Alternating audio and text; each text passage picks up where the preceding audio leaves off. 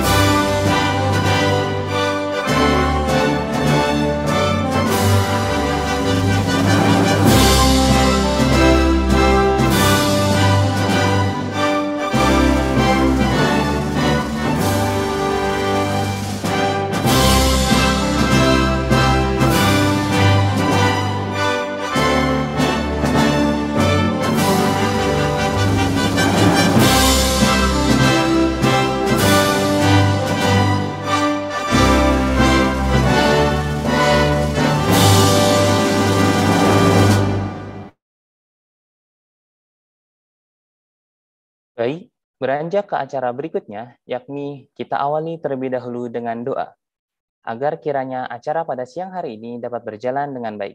Berdoa menurut agama serta kepercayaan masing-masing dipersilahkan.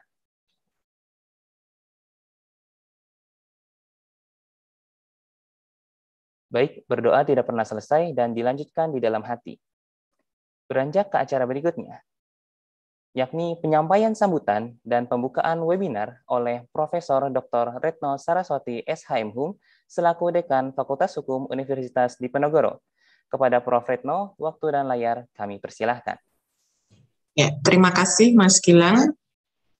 Bismillahirrahmanirrahim. Assalamualaikum warahmatullahi wabarakatuh. Selamat siang, salam sejahtera untuk kita semua. Yang saya hormati para narasumber yang sangat luar biasa pada siang hari ini. Yang pertama ada Dr. Bayu Dwi Anggono, SCMH. Beliau adalah Dekan Fakultas Hukum Universitas Jember.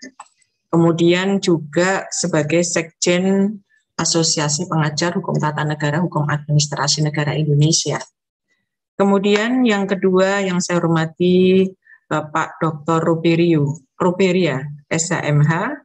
Beliau adalah Direktur Harmonisasi Peraturan Perundang-undangan Kemenkumham Republik Indonesia. Kemudian yang ketiga adalah Ibu Dr. Viviana Wisraini SHM. Beliau adalah pengajar hukum uh, di Fakultas Hukum Undip, khususnya uh, mengajar mengenai uh, peraturan perundang-undangan. Kemudian uh, yang saya hormati Kapkak Hukum Tata Negara, Ibu Sekar Anggun Gading Binilih SMH. Kemudian juga uh, Bapak Moderator ini Bapak Indarja eh, SMH. Kemudian juga seluruh panitia yang meliputi seluruh dosen HTN Fakultas Hukum Undip dan juga adik-adik dari Hima Batara. Terima kasih uh, yang telah turut mensukseskan acara webinar pada siang hari ini.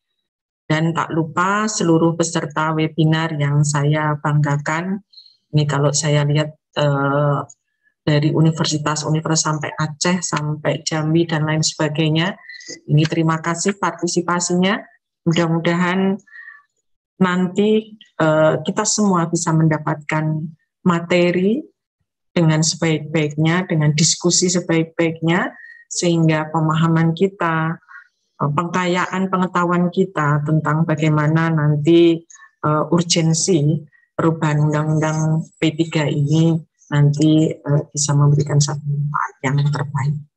Bapak Ibu sekalian, tema pada siang hari ini tentu uh, sangat menarik karena ini termasuk isu yang hangat. Ya, ini juga uh, berangkat dari apa yang diputuskan oleh MK tentang Undang-Undang Cipta Kerja. Ternyata model Omnibus Law ini juga belum diatur di dalam Undang-Undang 12 tahun 2011 tentang pembentukan peraturan perundang-undangan. Nah, Undang-Undang 12 ini merupakan satu-satunya pedoman, satu-satunya standar di dalam uh, membentuk peraturan perundang-undangan di Indonesia.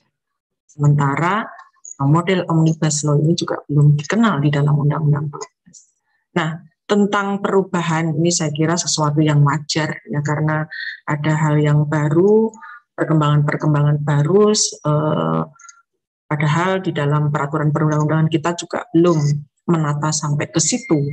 Maka ini sesuatu hal yang wajar saja di dalam perkembangan uh, hukum di Indonesia, di dalam perkembangan demokrasi di Indonesia untuk menata bagaimana sistem hukumnya yang lebih baik.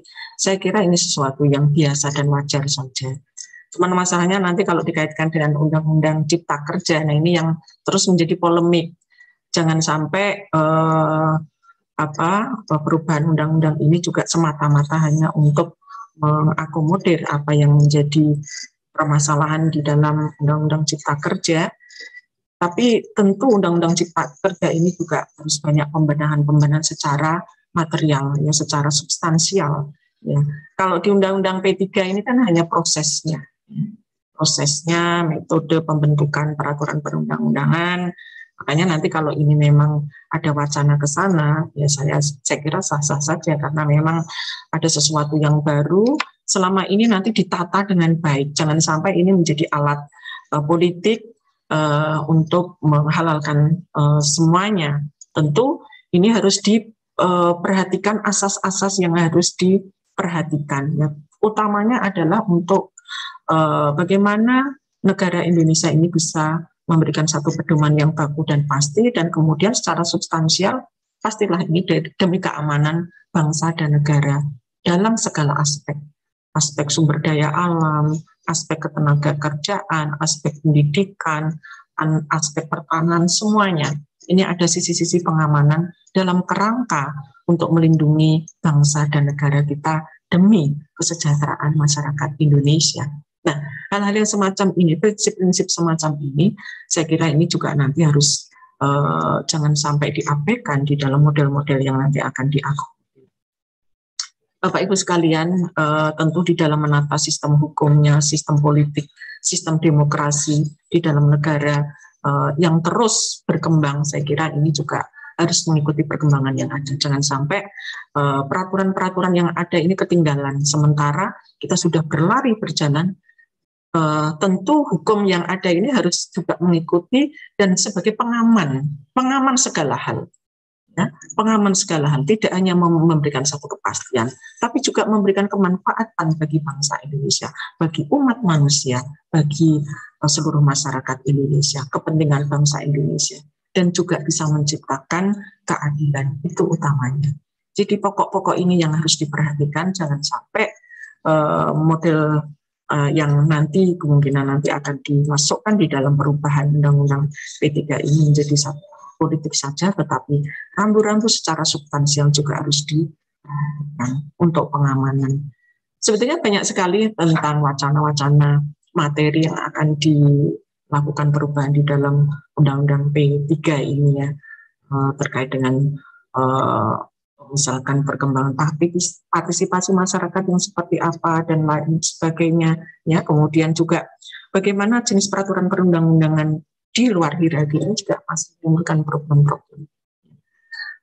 Uh, dengan adanya nanti paparan dari semua narasumber ini diharapkan nanti bisa memberikan pencerahan, uh, dengan diskusi juga nanti uh, kita bisa bertukar pikiran dan akhirnya memberikan satu solusi yang bagus. Saya kira nanti catatan-catatan penting ini bisa disampaikan kepada pembentuk undang-undang agar uh, siang ini tidak hanya bermanfaat bagi diri kita, bagi pengembangan hukum tata negara di Indonesia, terutama perundang-undangannya, tetapi juga berguna bagi ke depan bangsa Indonesia di dalam menata sistem hukumnya. Agar sistem hukum Indonesia nanti uh, bisa terarah terpadu ya uh, bisa mengamankan dalam segala hal terutama kepentingan bangsa dan negara Indonesia. Ya karena uh, kalau kita lihat uh, sistem hukum Indonesia walaupun sudah bagus tapi terus akan ditata untuk menuju kepada sesuatu sistem hukum yang seperti kita harapkan, sistem hukum yang mendasarkan pada Pancasila yang bisa memberikan kontribusi besar bagi bangsa dan negara kita. Saya kira itu saja Bapak Ibu sekalian uh, apa yang saya sampaikan dan mudah-mudahan nanti catatan-catatan itu bisa disampaikan sekali lagi kepada pembentuk undang-undang biar sebagai juga pengkayaan, sebagai wacana, uh, kemudian juga sebagai per, perbandingan ya untuk konsep-konsep uh, apa yang nanti bisa dimasukkan. Bapak Ibu sekalian, semoga Allah memberikan kemudahan untuk kita semua di dalam upaya-upaya kita juga untuk ikut berkontribusi bagi bangsa dan negara ini. Mudah-mudahan webinar ini bisa memberikan manfaat kita semua dan saya mengucapkan selamat berwebinar. Semoga nanti bisa berjalan lancar dan bisa memberikan manfaat semuanya. Selamat sekali lagi. Terima kasih. Wassalamualaikum warahmatullahi wabarakatuh. Waalaikumsalam warahmatullahi wabarakatuh. Terima kasih kiranya kami ucapkan kepada Profesor Retno Saraswati SHM Hum atas sambutan yang sangat hangat. Baik, sebagaimana yang kita tunggu-tunggu, acara selanjutnya yakni penyampaian materi oleh masing-masing narasumber yang sangat berkompeten dalam membahas tema pada hari ini. Hadirin sekalian, pada webinar hari ini terdapat tiga pembicara. Yang pertama adalah Ibu Dr. Viviana Wisnaini SHM Hum, selaku pengajar Hukum Perundang-undangan Fakultas Hukum Universitas Diponegoro, yang akan membahas mengenai urgensi perubahan Undang-Undang Nomor 12 Tahun 2011. Dan yang kedua adalah Bapak Dr. Bayu Dwi Anggono SHMH, selaku Dekan Fakultas Hukum Universitas Jember, dan juga sekaligus sebagai Sekjen APHTN HAN, yang akan membahas mengenai jalan panjang perubahan Undang-Undang Nomor 12 Tahun 2011. Dan yang ketiga adalah Bapak Dr. Robiria SHMH selaku Direktur Harmonisasi Perundang Peraturan Perundang-undangan Kemenkumham RI yang akan membahas mengenai problematika dan polemik keberjalanan proses pembentukan RUU perubahan kedua Undang-Undang 12 Tahun 2011 tentang pembentukan peraturan perundang-undangan. Kemudian tidak lupa, para pembicara nantinya akan dimoderatori oleh Bapak Indarja SHMH. Maka demikian, izinkan saya membacakan CV dari Bapak Indarja SHMH. Nama Bapak Indarja SHMH, beliau memiliki riwayat pendidikan S1 Fakultas Hukum Universitas Diponegoro dan juga S2 di Fakultas Hukum Universitas Diponegoro. Dan beliau juga sempat menjabat sebagai sekretaris Kepala Bagian Hukum Tata Negara sejak 2009 hingga 2015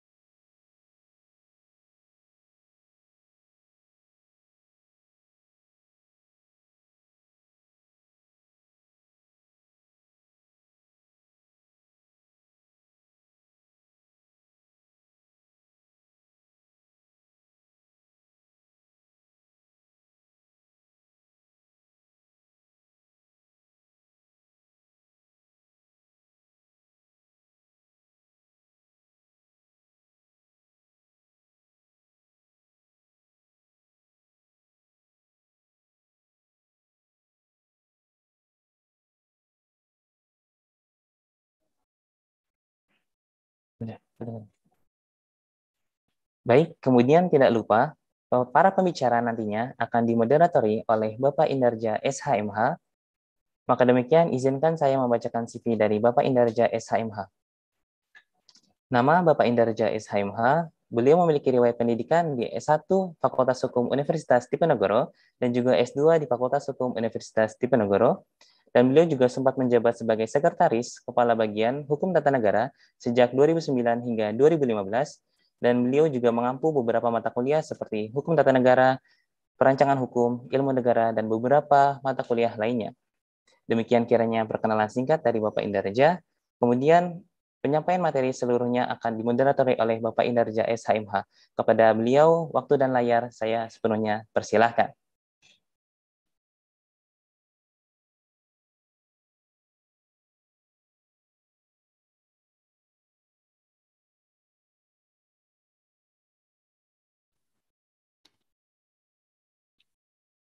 Selamat siang.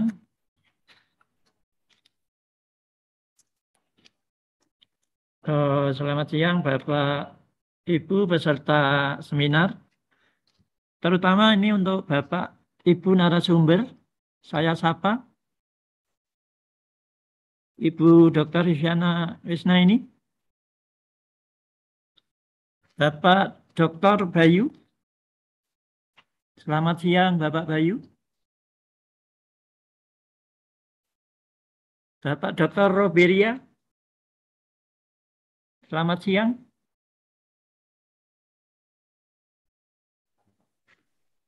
Ya. Selamat siang Pak Indarja. Untuk mempersingkat waktu, kita ya, bacakan dulu kurikulum vitae para narasumber. Yang pertama, Ibu Dr. Viviana Wisna ini SHM HUM. Beliau lahir di Semarang 1 Agustus 19 62. Riwayat pendidikan S1 Fakultas Hukum Undip, S2 Program Magister Ilmu Hukum Undip, S3 Program Doktor Ilmu Hukum Undip. Pengalaman jabatan Koordinator Lab Non-Litigasi, Legal Drafting, Pusat Data dan Informasi Fakultas Hukum, Koordinator Penelitian Sekretaris eh, akademik program Magister Ilmu Hukum, Sekretaris Program Magister Notariatan, dan juga Sekretaris Komisi 2 Senat Akademik Undip. Oh, beberapa mata kuliah yang beliau ampu ada Hukum Tata Negara, Otonomi Daerah, Perancangan Hukum, Kemahiran Non-Litigasi, Hukum Peradilan Konstitusi, Pancasila dan Kewarganegaraan, Perbandingan HTN, Hukum Konstitusi, TPH, dan Hukum Pemilu dan Demokrasi.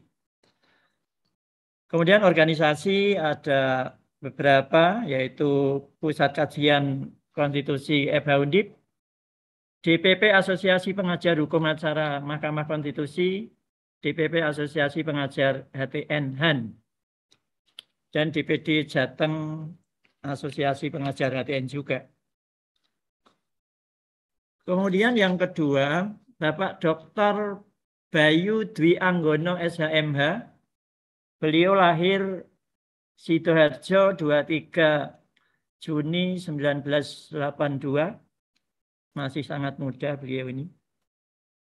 Kemudian latar belakang pendidikan S1 Fakultas Hukum Universitas Jember, S2 Magister Hukum Universitas Indonesia, dan S3 Fakultas Hukum Universitas Indonesia. Pendidikan non formal luar biasa, banyak sekali. Ini banyak yang berkaitan dengan legal drafting, baik di Jepang, Jerman, Belanda, Korea, Bangkok, dan lain-lain. Kemudian beberapa buku yang diterbitkan luar biasa juga. Ada hukum acara Mahkamah Konstitusi, ilmu perundang-undangan, hukum pemerintahan daerah, teori hukum konstitusi, dan masih banyak lagi. baik artikel jurnal ilmiah nasional dan internasional juga cukup banyak. Beliau saat ini juga sebagai dekan Fakultas Hukum Universitas Jember dan juga Sekjen Asosiasi Pengajar HTN Han. Demikian yang terakhir, Bapak Dr. Haroberia SHMH. Ini beliau lahir di Bingkudu atau Bukit Tinggi 23 April 1970. Kemudian pendidikan formal S1 FH Unis Tangerang, S2 Magister Hukum Fakultas Hukum Universitas Indonesia. Ini beliau kumlot. S3 program doktor ilmu hukum. Ini juga Universitas Indonesia. Beliau juga kumlot. Pengalaman kerja banyak sekali. Ini terkait sama hukum kesehatan, hukum perundang-undangan di berbagai lembaga. Ada di Departemen Kesehatan, ada di Kemenkes, ada di Kemenkum Gorontalo.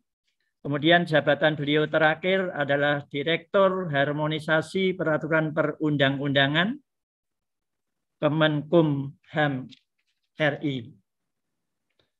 Kemudian di samping itu beliau juga dosen di beberapa perguruan tinggi, yaitu di Gorontalo dan juga di Pasca UI di Fakultas Kesehatan Masyarakat. Demikian kurikulum vitae dari tiga narasumber kita. Kemudian untuk mempersingkat waktu, kita masing-masing alokasikan waktu 20 menit bagi beliau bertiga. Yang pertama Bu Dr. Viviana dengan judul Urgensi Perubahan Undang-Undang Nomor 12 Tahun 2011. Kami persilahkan Bu Viviana dengan waktu 20 menit. Ya. Terima kasih Pak Indarja selaku moderator. Yang terhormat Ibu Dekan Fakultas Hukum Yang terhormat Dekan Fakultas Hukum Undip Profesor Dr. Retno Saraswati SAMH, yang terhormat para narasumber Bapak Dr. Bayu Dwi Anggono SAMH dan Bapak Roberia Bapak Dr. Roberia SAMH. Eh, Assalamualaikum warahmatullahi wabarakatuh. Salam Swastiastu, Namo Buddhaya, salam kebajikan, salam, salam, salam sejahtera dan selamat siang. Perkenankan eh, saya sebagai tuan rumah ini saya mohon maaf ya karena sebagai tuan rumah tapi mengawali lebih dahulu untuk menyampaikan materi webinar pada siang hari ini. Di sini saya mendapat tugas dari panitia untuk menyampaikan materi terkait dengan urgensi perubahan Undang-Undang Nomor 12 Tahun 2011. Next. Ya. Uh, Bapak Ibu sekalian, uh, peserta webinar yang berbahagia, sebagaimana kita ketahui bersama bahwa Indonesia adalah negara hukum yang menganut tradisi Eropa kontinental yang atau yang sering disebut dengan civil law system. Di mana dalam civil law system ini mementingkan atau lebih mementingkan peraturan perundang-undangan dalam bentuk tertulis dibandingkan dengan eh, putusan-putusan hakim. Nah, sebagaimana kita ketahui dengan adanya reformasi, maka terjadi eh, perubahan Undang-Undang Dasar 1945 menjadi Undang-Undang Dasar Negara Republik Indonesia tahun 45, di mana dalam pasal 22A ini mengakomodir tadi eh, mengenai civil system, di mana eh, pasal 22A ini me, apa ya, mem, me, apa, me, mengatur bahwa mengatur bahwa pembentukan peraturan perundang-undangan ini harus dibentuk dalam suatu undang-undang. Berdasarkan latar belakang itu, maka eh, dibentuklah Undang-Undang Nomor 10 Tahun 2004 tentang pembentukan peraturan perundang-undangan. Tapi dalam perjalanannya bahwa Undang-Undang 10 2000, tahun 2004 ini eh, terjadi banyak eh, materi yang ternyata kurang sempurna begitu ya sehingga kemudian dirubah dengan Undang-Undang Nomor 12 tahun 2011 ya. Dan dalam perjalanannya Undang-Undang Nomor 11 tahun 2011 ini juga dirubah pertama kali dengan Undang-Undang Nomor 15 tahun 2019. Nah, kemudian eh, dalam perkembangan terakhir ada wacana untuk merubah Undang-Undang 12 tahun 2011 ini. Nah, ini yang menjadi pokok masalah ya adalah apa sih urgensinya? Hmm.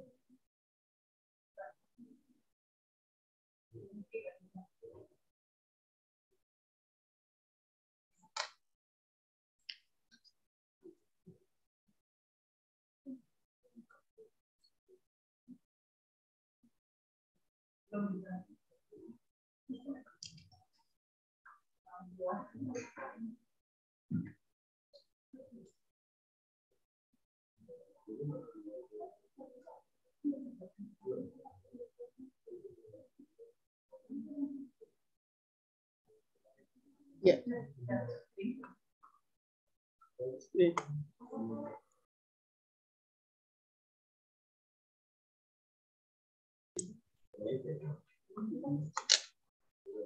Ya. Jadi eh, apa namanya? Jadi tadi pasal 22A Undang-Undang Dasar Negara Republik Indonesia tahun 45 memerintahkan eh, tata cara pembentukan peraturan perundang-undangan dalam satu undang-undang dan ini menjadi latar belakang atau dasar hukum pembentukan Undang-Undang Nomor 10 Tahun 2004 tentang pembentukan peraturan perundang-undangan. Nah, dalam perjalanannya kemudian Undang-Undang Nomor 10 eh, Tahun 2004 ini dirubah atau bukan dirubah, dicabut ya, dicabut dan diganti dengan Undang-Undang Nomor 12 Tahun 2011 yang mengatur hal yang sama. Kemudian Undang-Undang Nomor 12 Tahun 2011 itu juga dirubah lagi dengan Undang-Undang Nomor 15 Tahun 2019. Nah, dalam perkembangan terakhir ini walaupun apa namanya sudah terjadi perubahan pertama terhadap Undang-Undang 12 tahun 2011 eh, ada wacana untuk merubah lagi Undang-Undang 12 tahun 2011 ini. Nah, yang akan kita bahas bersama dalam pertemuan kali ini adalah apa sebetulnya urgensi perubahan Undang-Undang Nomor 12 tahun 2011. Nah, Tadi sudah sebagaimana tadi saya sampaikan bahwa Undang-Undang Nomor 10 Tahun 2004 ini merupakan perintah ya. Jadi pembentukan Undang-Undang Nomor 10 Tahun 2004 itu merupakan perintah dari pasal 22A Undang-Undang Dasar Negara Republik Indonesia tahun 45 dan pasal 6 ketetapan MPR nomor 3 tahun 2000. Next mungkin kita uh, kembali ke belakang dulu ya mengapa uh, pada waktu itu perlu dibentuk Undang-Undang Nomor 10 Tahun 2004 ya. Yang pertama adalah dengan adanya perubahan Undang-Undang Dasar 1945 itu terjadi pergeseran kewenangan pembentukan undang-undang dari presiden ke DPR ya. Jadi kalau tadinya kewenangan membentuk undang-undang ada pada presiden, yang artinya bahwa aturan-aturan itu juga yang untuk presiden. Kemudian dengan adanya perubahan undang-undang dasar ini, eh, kemenangan membentuk undang-undang beralih ke DPR. Kemudian yang kedua, masih tersebarnya peraturan tentang pembentukan peraturan perundang-undangan dalam berbagai jenis peraturan. Kemudian yang ketiga, Diperlukan cara dan metode yang pasti, baku, dan standar dalam membentuk peraturan perundang-undangan. Jadi ini adalah latar belakang pembentukan Undang-Undang Nomor 10 Tahun 2004. Next. Ya. Nah, jadi dalam apa namanya Jadi eh, sebelum berlakunya Undang-Undang Nomor 10 Tahun 2004 itu peraturan tentang pembentukan peraturan perundang-undangan itu tersebar di berbagai aturan. Ya, jadi ada undang-undang, bahkan eh, ada keputusan presiden, ada instruksi instruksi presiden, bahkan ada undang-undang yang merupakan warisan dari kolonial. Nah, dengan adanya uh, Undang-Undang Nomor 10 Tahun 2004 ini, kemudian uh, semua peraturan perundang-undangan itu tidak berlaku lagi, ya, sehingga uh, Undang-Undang Nomor 10 Tahun 2004 pada waktu itu merupakan satu-satunya uh, peraturan tentang pembentukan peraturan perundang-undangan, ya, di mana uh, dalam Undang-Undang 10 2004 itu merupakan pedoman baku ya dalam pembentukan peraturan perundang-undangan. Terkait dengan pembentukan peraturan perundang-undangan, itu Burkhard Krems mengatakan bahwa pembentukan peraturan perundang-undangan itu menyangkut isi peraturan, bentuk dan susunan peraturan, metode pembentukan peraturan, proses dan prosedur pembentukan peraturan, di mana di mana hal ini semua terkait dengan asas pembentukan peraturan perundang-undangan yang baik. Ya, jadi eh, menurut eh, Krenz bahwa pembentukan peraturan perundang-undangan itu menyangkut isi peraturan, kemudian bentuk dan susunan peraturan, eh, metode pembentukan peraturan, prosedur dan proses pembentukan peraturan, di mana hal ini itu sangat erat kaitannya dengan asas-asas pembentukan peraturan perundang-undangan yang baik. Ya. Nah, mengenai asas-asas pembentukan peraturan perundang-undangan yang baik. Ini ada saya menampilkan dua pendapat ya. Yang pertama dari IC van der Vlies, IC van der Vlies ya, di mana membagi asas-asas dalam pembentukan peraturan yang negara yang baik itu meliputi asas formal yang terdiri dari asas tujuan yang jelas, asas organ atau lembaga yang tepat, asas perlunya pengaturan, asas dapatnya dilaksanakan, asas konsensus, kemudian asas material terdiri dari asas tentang terminologi dan sistematika yang benar, asas tentang dapat dikenali, asas perlakuan yang sama dalam hukum, asas kepastian hukum, dan asas pelaksanaan hukum sesuai dengan keadaan individual.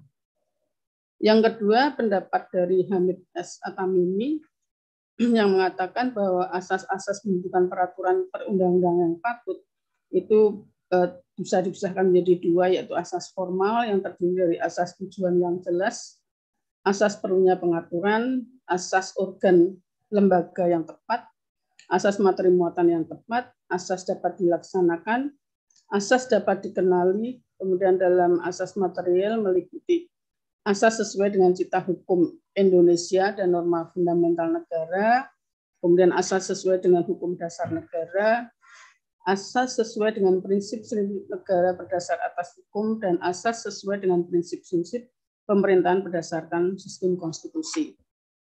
Nah, sebetulnya dalam Undang-Undang Nomor 10 Tahun 2004 dan Undang-Undang Nomor 12 Tahun 2011 ini juga memasukkan asas-asas ini eh, menjadi salah satu norma dalam uh, undang-undang tersebut.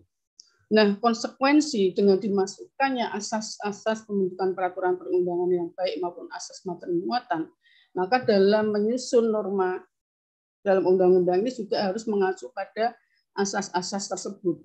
Ya. Nah, kemudian kalau kita melihat pada Undang-Undang Nomor 10 Tahun 2004, itu banyak kelemahannya ya banyak kelemahannya yang pertama bahwa materi banyak yang menimbulkan kerancuan atau multitafsir sehingga tidak memberikan suatu kepastian hukum. Nah ini eh, kalau saya mengatakan ini tidak sesuai dengan asas kejelasan rumusan dan asas ketertiban dan kepastian hukum. Kemudian yang kedua, teknik penulisan rumusan banyak yang tidak konsisten dan ini eh, tidak sesuai dengan asas ketertiban dan kepastian hukum. Kemudian ketika terdapat materi baru yang perlu diatur sesuai dengan perkembangan atau kebutuhan hukum dalam pembentukan peraturan perundang-undangan, eh, menurut saya ini juga tidak sesuai dengan kedaya gunaan dan kehasil gunaan. Dan yang keempat, penguraian materi sesuai dengan yang diatur dalam tiap-tiap bab sesuai dengan sistematika. Jadi ini tidak sesuai dengan asas kejelasan rumusan. Nah, kemudian eh, ada upaya untuk menyempurnakan uh, kelemahan dari Undang-Undang Nomor 10 Tahun 2004 ya. Tetapi ternyata upayanya itu tidak uh, apa namanya tidak tidak berkaitan dengan kelemahan yang tadi saya sebutkan ya. Jadi mungkin ini dilewati saja. Ya.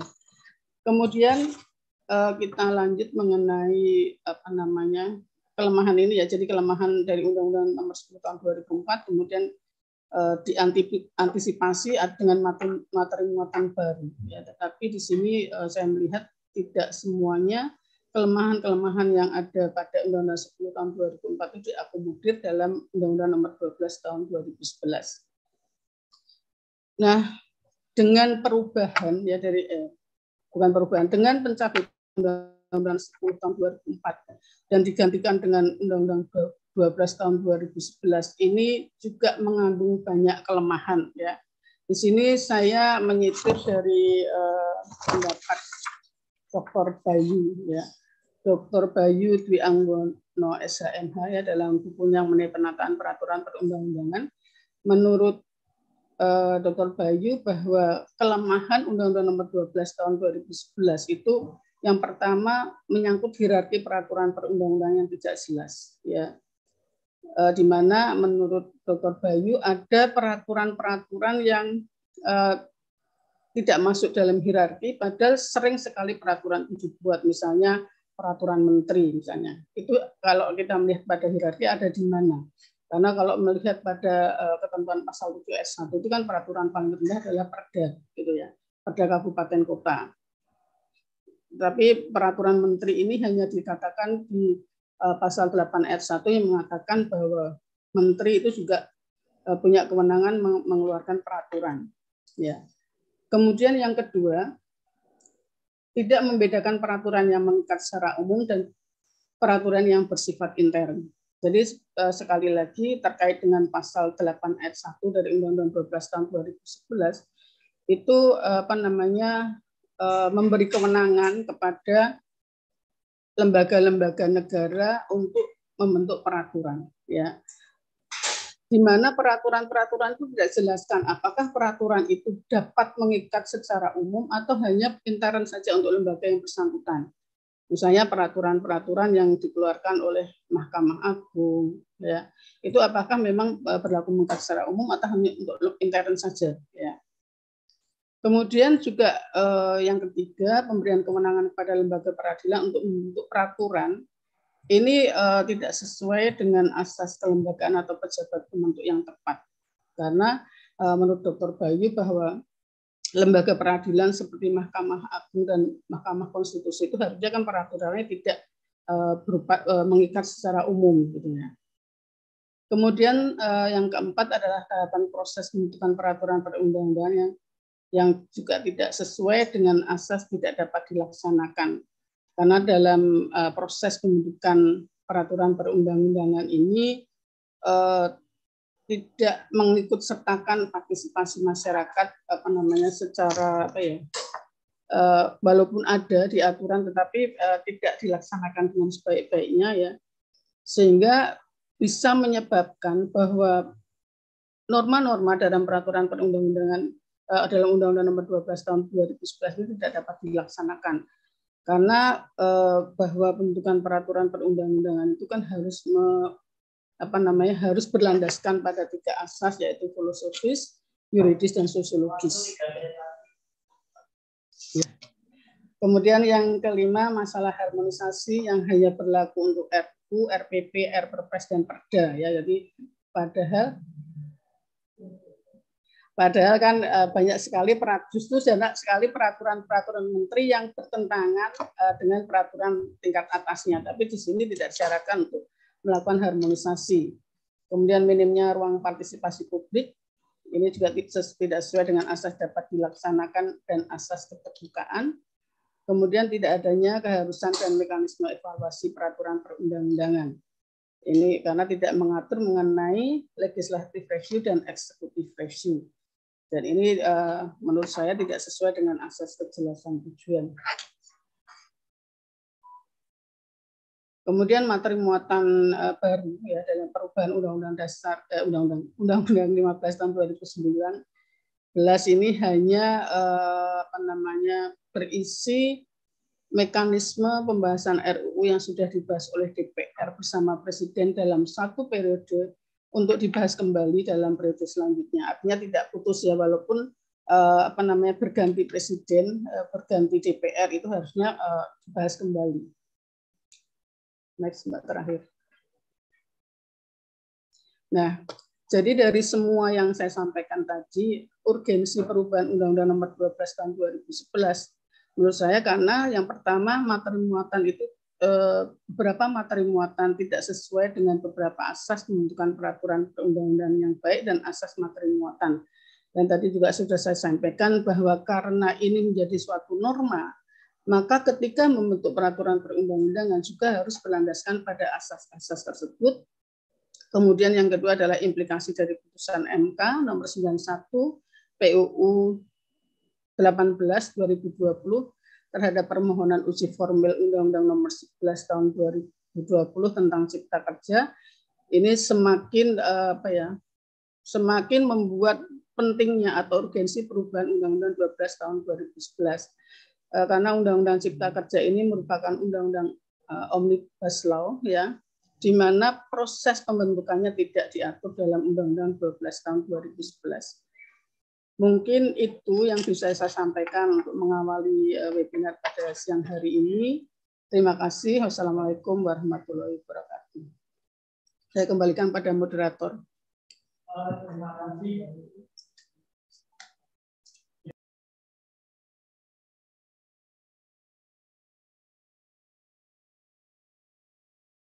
Sebelumnya saya mengingatkan bahwa para peserta, Bapak Ibu dosen maupun para mahasiswa nanti silahkan menanggapi ataupun bertanya. Nanti kami utamakan yang dari on kamera, yang langsung ya, walaupun tidak menutup kemungkinan nanti dari chatting. Ya, monggo untuk selanjutnya untuk menyingkat waktu, kami persilahkan narasumber kedua Bapak Dr. Bayu untuk menyampaikan paparannya. Waktu Baik. 20 menit. ya. Baik Pak Indarja, suara saya sudah kedengaran Pak Indarja? Ya, jelas Pak. Ya. Oke, baik. Makasih Pak Indarja yang saya hormati. Bismillahirrahmanirrahim. Assalamualaikum warahmatullahi wabarakatuh. Salam damai sejahtera, Om Swastiastu, Namo Buddhaya, salam kebajikan, salam sehat untuk kita semua. Yang sama-sama kita hormati Bu Dekan Fakultas Hukum Universitas Diponegoro, Profesor Dr. Retno Saraswati, yang juga beliau adalah salah satu Ketua Pengurus Pusat Asosiasi Pengajar Hukum Tata Negara dan Hukum Administrasi Negara. Terima kasih Bu Dekan, Prof. Retno sudah berikan kesempatan untuk silaturahmi secara akademik meskipun secara virtual begitu ya. Kemudian yang saya hormati juga eh, sahabat saya, kolega saya di pengurus pusat APHT Enhan, ada Ibu Dr. Viviana Wisna ini, ini beliau mudah-mudahan uh, selalu sehat ya, Bu Dekan dan Bu Vivi. Ini beliau juga salah satu pengurus pusat APHT Enhan dan kolega pengajar hukum perundang-undangan. Jadi tidak terlalu banyak pengajar hukum perundang-undangan. Rasanya bersyukur Undip punya Bu Viviana Wisna ini yang satunya mengajar di bidang perundang-undangan. Kemudian juga sahabat saya karena ini teman sekolah S2 saya, Bapak Dr. Roberia SAMH. Jadi alhamdulillah silaturahmi dengan Pak Dr. Roberia di dalam uh, forum akademik ini. Uh, terima kasih Pak Direktur bisa juga bergabung di acara ini. Yang saya hormati para guru besar, para dosen di bagian hukum tata negara FAUDIP yang memiliki gawe acara webinar ini, saya pikir satu apresiasi ya ini eh, perubahan kedua Undang-Undang 12 2011 ini kan baru disetujui di tingkat pertama, direkomendasikan atau disetujui untuk dibawa ke tingkat kedua paripurna. Tapi kemarin eh, di dalam paripurna eh, oleh sorry, eh, oleh Badan Musyawarah DPR tidak jadi disetujui di tingkat dua pada tanggal 14 April mungkin di masa sidang berikutnya. Jadi ini isu yang masih sangat hangat, isu yang sedang banyak dibahas, dan teman-teman bagian HTNF Audit mengangkat isu ini. Saya pikir kontribusinya akan sangat luar biasa. Dan yang saya hormati tentu seluruh peserta webinar dari seluruh uh, institusi mungkin ini luar biasa Bu Vivi saya lihat ada 503 yang hadir ini satu uh, hal yang sangat baik mungkin sambil nunggu buka puasa ya jadi saya ucapkan selamat menjalankan ibadah puasa juga kita sama-sama ini uh, untuk nanti menunggu uh, buka puasa saya dapat topik sebenarnya adalah jalan panjang ya perubahan Undang-Undang 12 2011 saya maunya bikin judul sebenarnya hati-hati di jalan begitu ya perubahan Undang-Undang 12 2011 tapi takut nanti kena judul lagunya tulus kan. Sekarang lagi eh, keren lagu hati-hati di jalan begitu ya. Kalau saya bikin judul hati-hati di jalan perubahan Undang-Undang 12 2011 sebenarnya nggak apa-apa juga karena mengingatkan agar perubahan undang-undang ini dilakukan dengan hati-hati. Tapi sudahlah, saya bikin judul yang pada intinya akan membahas itu, tapi judul saya adalah perubahan kedua ini apa sih kira-kira kontribusinya begitu ya bagi proses penataan peraturan perundang-undangan yang ada di Indonesia. Saya kalau diperkenankan share screen sendiri, uh, uh, Bapak Ibu operator, mungkin saya biar bisa uh, apa? Nah, Oke, okay, saya mohon izin share screen sendiri. Baik, mungkin mudah-mudahan sudah terlihat uh, bahan uh, tayang bahan paparan saya. Jadi sebenarnya kan begini, perubahan terhadap satu undang-undang itu kan suatu keniscayaan. Tinggal kita harus penuhi tadi kata Bu Dr. Vivi itu adalah apa urgensinya, yang berikutnya, apa kontribusinya? Kan begitu. Urgensi, ya, karena urgensi logika dari pembentuk undang-undang itu penting untuk kita dengar. Tapi yang paling penting, apa kontribusinya? Kalau kontribusinya kan dalam webinar ini sebenarnya bagi pembangunan hukum nasional. Saya lebih tarik lebih khusus lagi, lebih sempit lagi bagi penataan peraturan perundang-undangan. Karena kalau penataannya nggak kita beresin dulu, kayaknya cita-cita besar kita terkait kontribusi bagi pembangunan hukum nasional nanti dulu deh, kira-kira begitu. Jadi saya ingin nariknya, apa sih kontribusinya kira-kira bagi program reformasi regulasi yang sedang kita gagas bersama, begitu. Nah, Bapak Ibu sekalian, bagi saya, keberadaan undang-undang eh, tentang pembentukan peraturan perundang-undangan yang menjadi amanat dari pasal 22A Undang-Undang Dasar 45 setelah perubahan, tidak bisa dilepaskan dari kebutuhan begini sederhananya kalau kita mau mewujudkan peraturan perundang-undangan yang itu baik, ya, yang tentu menjadi unsur penting dalam satu negara hukum, meskipun negara hukum bukanlah negara e, perundang-undangan semata, maka kita sekurang-kurangnya dari berbagai literatur ada lima hal yang harus kita penuhi. Yang pertama begini, jangan bicara dulu pembentukannya. Dasar-dasar perundang-undangannya harus kita bereskan dulu, harus tertib dulu jenisnya. Kita harus bisa bedakan mana yang masuk peraturan perundang-undangan, mana yang bukan peraturan perundang-undangan. Jangan sampai yang bukan peraturan perundang-undangan, jenisnya bukan perundang-undangan, kita atur di dalam pembentukan peraturan perundang-undangan. Itu menjadi penting. Yang kedua hierarkinya. Kalau sesuai dengan teori hierarki, kan logikanya semua peraturan yang masuk dalam hierarki. Nah, jadi jangan sampai ada yang masuk ke hierarki, ada juga peraturan perundang-undangan yang nggak masuk dalam hierarki. Ini problematik nanti. Artinya penafsirannya siapa yang kemudian menafsirkan soal uh, sumber validitas uh, legitimasi dari pembentukan suatu peraturan perundang-undangan. Yang ketiga materi muatannya. Yang namanya peraturan perundang-undangan antara materi dari undang-undang dasar, undang-undang, peraturan pemerintah, peraturan presiden, peraturan menteri, sampai peraturan daerah kan punya materi yang khas yang nggak bisa ditukar satu sama lain. Itu kan jelas menjadi penting ada namanya materi muatan yang khas. Nah, maka kita tentu harus kemudian beresin dulu nih, bahwa sebelum bicara proses pembentukan, kita tentu bicara soal jenisnya, hierarkinya, materi muatan harus tertib dulu. Karena tertib pembentukan ini nanti tahapan berikutnya yang pasti adalah tertib dasar perundang-undangan. Sehingga memang penting hadirnya suatu undang-undang yang tidak hanya bicara pembentukan, tapi di dalamnya menjadi konsensus kita tentang dasar-dasar perundang-undangan. Apakah itu jenis, hierarki, dan materi muatan. Nah, berikutnya, kalau dasar-dasarnya sudah tertib, ya berikutnya cara membentuknya pun harus tertib. Nah, cara membentuk ini kita bisa bagi menjadi dua. Maka ini dikenal sebagai hak uji formil, hak uji material. Sumbernya begini sebenarnya.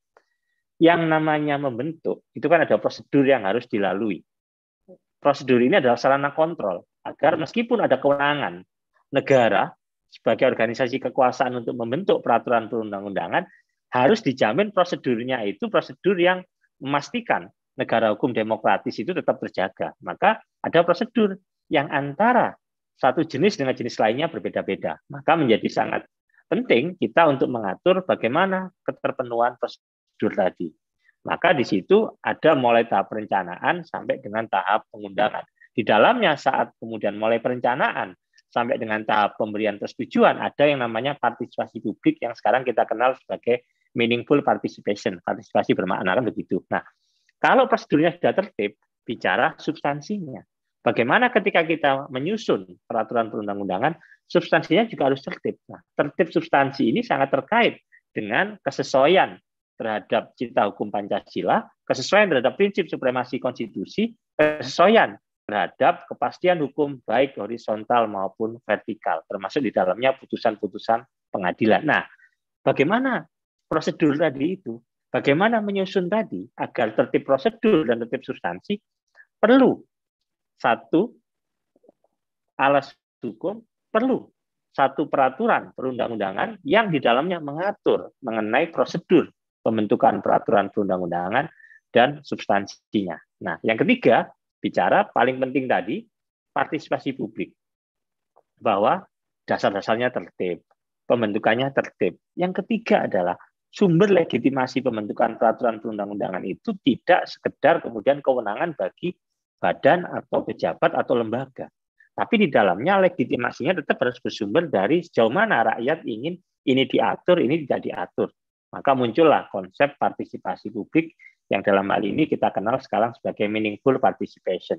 Nah, yang keempat, kalau semuanya sudah jalan, dasar-dasarnya tertib, prosedurnya tertib, substansinya tertib, partisipasi juga ada.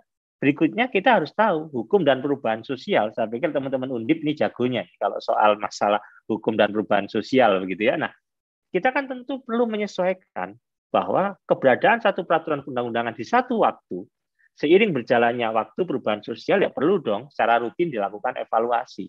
Yang kita sebut sebagai konsep bukan judicial review yang sifatnya memang pasif menjadi kewenangan dari badan peradilan.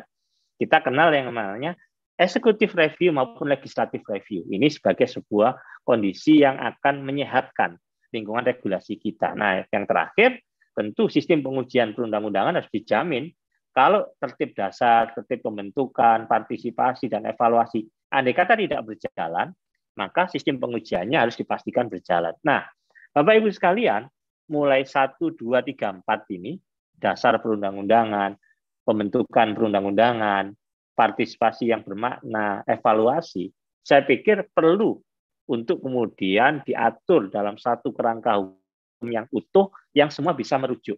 Nah, yang ini kita sebut akhirnya lahirlah undang-undang pembentukan peraturan perundang-undangan yang meskipun di pasal 22A itu bicara tata cara pembentukan undang-undang tapi undang-undang yang dimaknai dalam arti bukan hanya undang-undang formil yaitu yang dibentuk oleh lembaga legislatif yang dalam kasus di Indonesia itu bersama dengan persetujuan bersama presiden begitu ya tapi undang-undang dalam arti material adalah seluruh peraturan perundang-undangan sehingga lahirlah konsep undang-undang pembentukan peraturan perundang-undangan. Nah, ini yang kemudian eh, kita katakan kenapa sih kita membutuhkan undang-undang tentang pembentukan peraturan perundang-undangan. Nah, jalan panjang tadi saya mulai sebenarnya begini.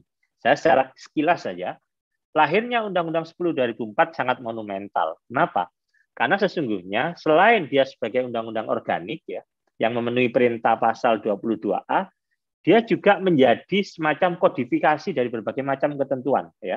Kalau saya katakan kalau selama ini nih waktu sebelum Undang-Undang 10 2004 kalau kita mau merujuk tentang ketentuan pembentukan perundang-undangan, kita lihat TAP MPR 3 2000, lihat Undang-Undang 1 50, Undang-Undang 2 tahun 50, tekniknya kita lihat kepres begitu ya. Nah, ini memudahkan kita bahwa oke, okay, semua ini sesungguhnya adalah materi undang-undang, sudah satu undang-undang ini yang menyatukan. Sehingga kalau dikatakan, kalau kita lihat satu eh, konsep eh, penyatuan pengaturan, maka Undang-Undang 10 2004 menjawab itu. Maka saya katakan ini satu hal yang monumental ketika eh, lahirnya Undang-Undang 10 tahun 2004. Plus di dalamnya tadi mengatur mengenai tertib dasar dan di dalamnya juga ada tertib pembentukan baik prosedur maupun substansi. Ini sudah diatur begitu. Nah, Bagaimana kemudian dalam perjalanannya 2004 ke 2011 ya, hampir tujuh tahun, tadi juga disampaikan Bu Dr. Viviana, ada kelemahan-kelemahan. Saya pikir itu hal yang sangat wajar begitu ya. Kelemahan itu kita ketahui ketika kemudian kita praktekkan. Kalau waktu disusun kan anggapannya ya kita awal kita punya begitu ya sudah lengkap. Nah, kemudian dalam perjalanannya kita melihat ada beberapa persoalan. Contoh misalkan penyebar luasan masuk bagian dari pembentukan. Padahal pembentukan itu selesai di tahap pengundangan. Yang namanya penyebar luasan itu penting sebagai syarat kemudian penerimaan publik atas berlakunya undang-undang atau peraturan perundang-undangan. Tapi dia bukan bagian dari yang kita sebut sebagai tahapan pembentukan. Ini kan salah kaprah sehingga penyebar luasan ini kita keluarkan dari Undang-Undang 10 tahun 2004. Plus materi-materi baru waktu itu ternyata setelah TAP 1 2003 masih ada beberapa TAP yang masih berlaku. Nah ini kan harus dikasih bentuk satu sisi dia tidak bisa kemudian eh, dengan sendirinya tidak berlaku karena di situ berlaku dengan ketentuan maupun tetap berlaku sampai kemudian hal-hal yang ada dalam TAP itu terlaksana. Nah ini penting untuk mengakomodir soal TAP. Nah kemudian eh, beberapa hal soal kewajiban naskah akademik yang itu dirasakan ya harusnya diwajibkan. Sebelumnya kan tidak diwajibkan. Nah, hal-hal ini yang kemudian saya katakan kontribusi Undang-Undang 12 2011. Jadi saya berusaha mencari kontribusi dari masing-masing eh, undang-undang, utamanya baik penggantian maupun perubahan. Nah, dalam perjalanannya Bapak Ibu sekalian, tahun 2019 dilakukan perubahan pertama. Tentu kita tahu perubahan ini menyempurnakan Undang-Undang 12 2011. Tapi ada beberapa isu yang memantik gitu ya. Jadi setiap perubahan itu pasti ada satu kejadian yang memantik kenapa ini harus dilakukan perubahan. Kita kenal istilah ternyata sering kali ini pembahasan undang-undang sudah memakan waktu ya cukup panjang, biaya cukup panjang, pembahasan yang sudah dalam tanda kutip sudah uh, cukup berdarah-darah, tapi karena berakhirnya masa jabatan DPR, maka ketika DPR baru akan melanjutkan itu harus dimulai dari nol, begitu ya. Nah, tentu ini tidak efektif, begitu. Sehingga kemudian perlu dianggap diwadahi satu ketentuan carry over bahwa terhadap undang-undang yang sudah melalui pembahasan pada tahapan tertentu, ketika masa periode DPR berakhir, itu kemudian di periode selanjutnya bisa untuk dibahas. Nah, termasuk pengaturan pemantauan dan peninjauan begitu ya, yang di dalamnya eh, ini mulai diakomodir meskipun baru untuk undang-undang. Yang terakhir, kontribusinya adalah ketika kita ingat, ketika eh, debat eh, kampanye pemilihan presiden, muncul wacana namanya Pusat Legislasi Nasional. Jadi seluruh fungsi pembentukan peraturan perundang-undangan disatukan dalam satu badan yang disebut sebagai apakah Pusat Legislasi Nasional, Badan Regulasi Nasional atau apa pun. Nah, undang-undang ini visioner. Kenapa? Di Undang-Undang 15 2019 itu sudah diatur tentang fungsi dari badan ini meskipun belum komprehensif dan dinyatakan meskipun tidak ada jangka waktu, masa transisi selama lembaga atau kementerian khusus di bidang pembentukan peraturan perundang-undangan ini belum terbentuk, maka fungsi itu sementara dilaksanakan oleh kementerian yang menangani bidang peraturan perundang-undangan, yaitu Kementerian Hukum dan Asasi Manusia. Nah, ini visioner. Meskipun catatan kita, kenapa nggak dikasih jangka waktu, misalkan perintah kepada uh, pemerintah dalam jangka waktu lima tahun misalkan untuk membentuk badan ini. Ini nggak kita temukan di Undang-Undang 15 tahun 2019. Nah, tapi kontribusi positifnya sudah meletakkan dasar-dasar yang baik. Nah, maka ketika kondisi perundang-undangan saat ini, sebagaimana tadi juga sudah disampaikan Bu Dr. Viviana, kita lihat bersama ada kondisi-kondisi yang mengharuskan sesungguhnya kita untuk menata ulang, ya, melakukan kalau saya katakan bukan sekedar perubahan, tapi penggantian Undang-Undang 12 2011. Karena ada beberapa keadaan yang ini belum tertampung di dalam undang-undang yang ada saat ini. begitu. Saya pikir itu hal yang wajar, hal yang dinamis saja. begitu ya. Yang pertama, kurang terkontrolnya jenis peraturan. Mari kita lihat pasal 8 ayat 1 Undang-Undang 12 2011. Kita nggak bisa bedakan apakah peraturan DPR, peraturan DPD, peraturan MPR itu masuk kategori peraturan perundang-undangan. Kita tahu tentu memahami itu bukan peraturan perundang-undangan.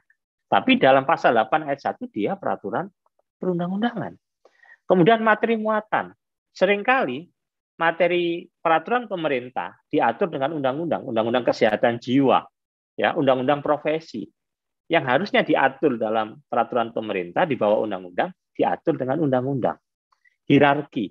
Mana bisa kita menyusun hierarki? Di mana posisi peraturan OJK, peraturan Bank Indonesia, peraturan KPU, peraturan Bawaslu dalam hierarki? Kita nggak bisa tentukan itu karena tidak masuk dalam pasal 7 ayat 1.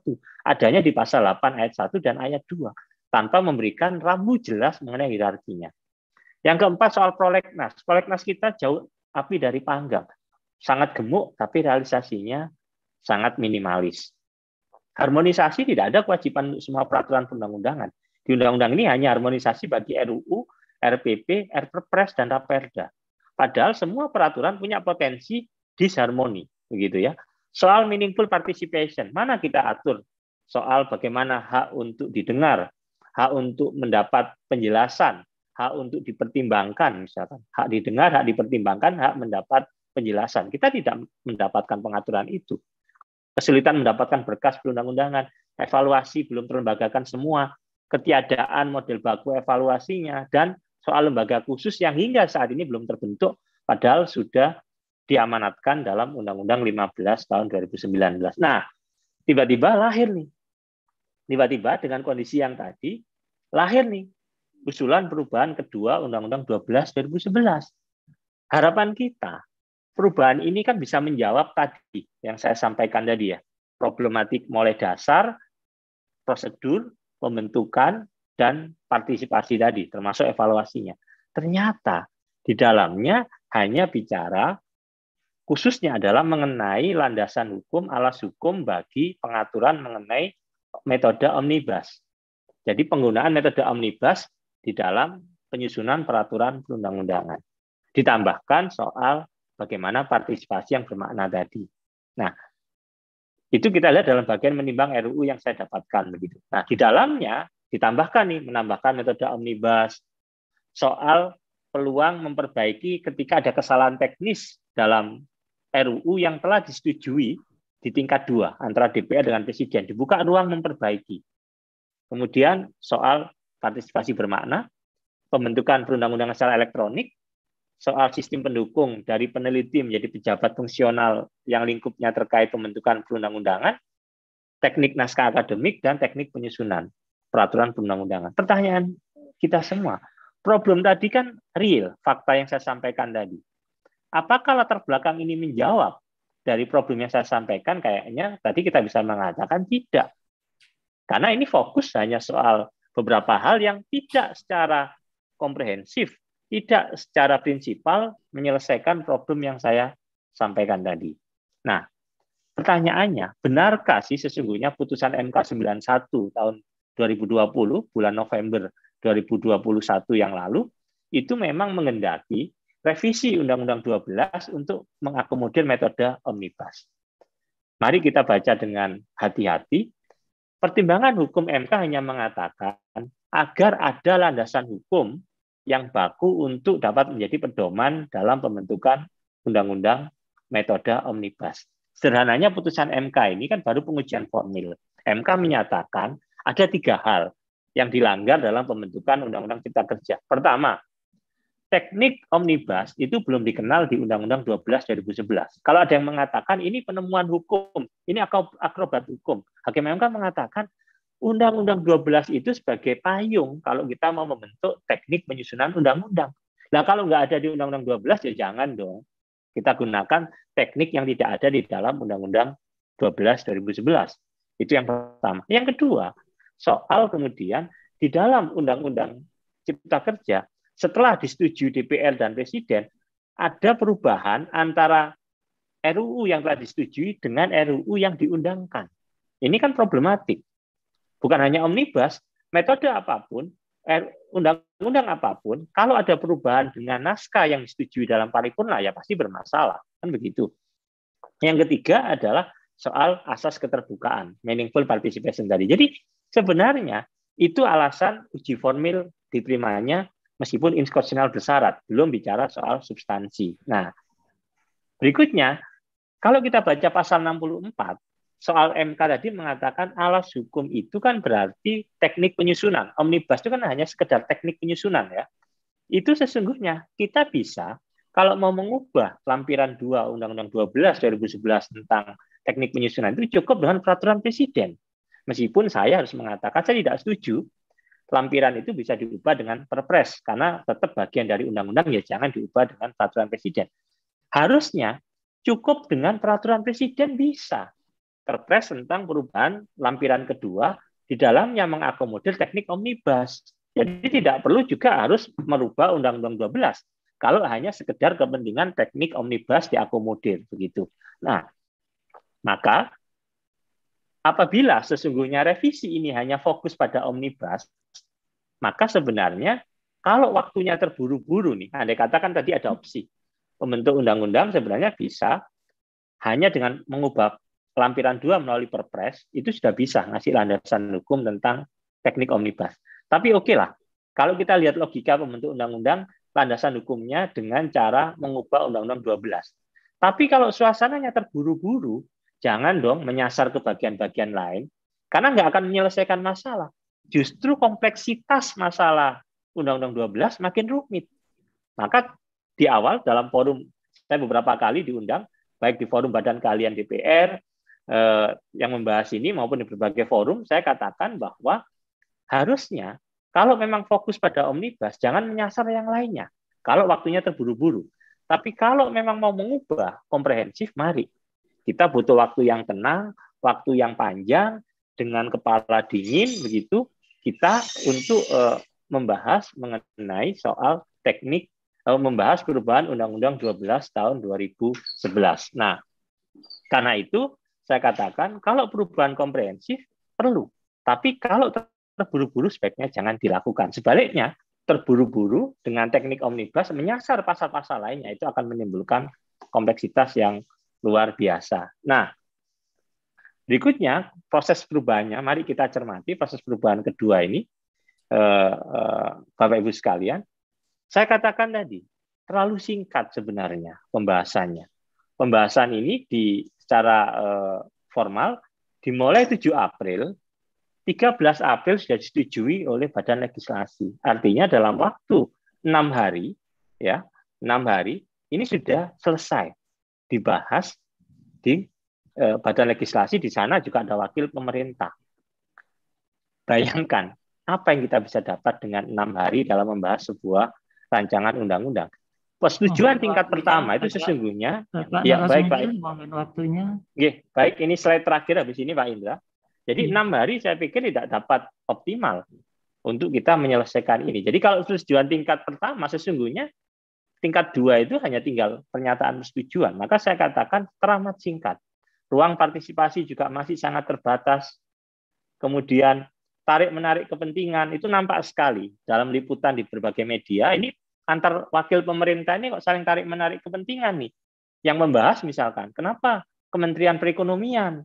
Apa urusannya Kementerian Perekonomian kok bahas perubahan Undang-Undang 12? Ini kan harusnya Kementerian Hukum dan HAM yang sesuai Undang-Undang Dasar dia membidangi urusan hukum dan perundang-undangan.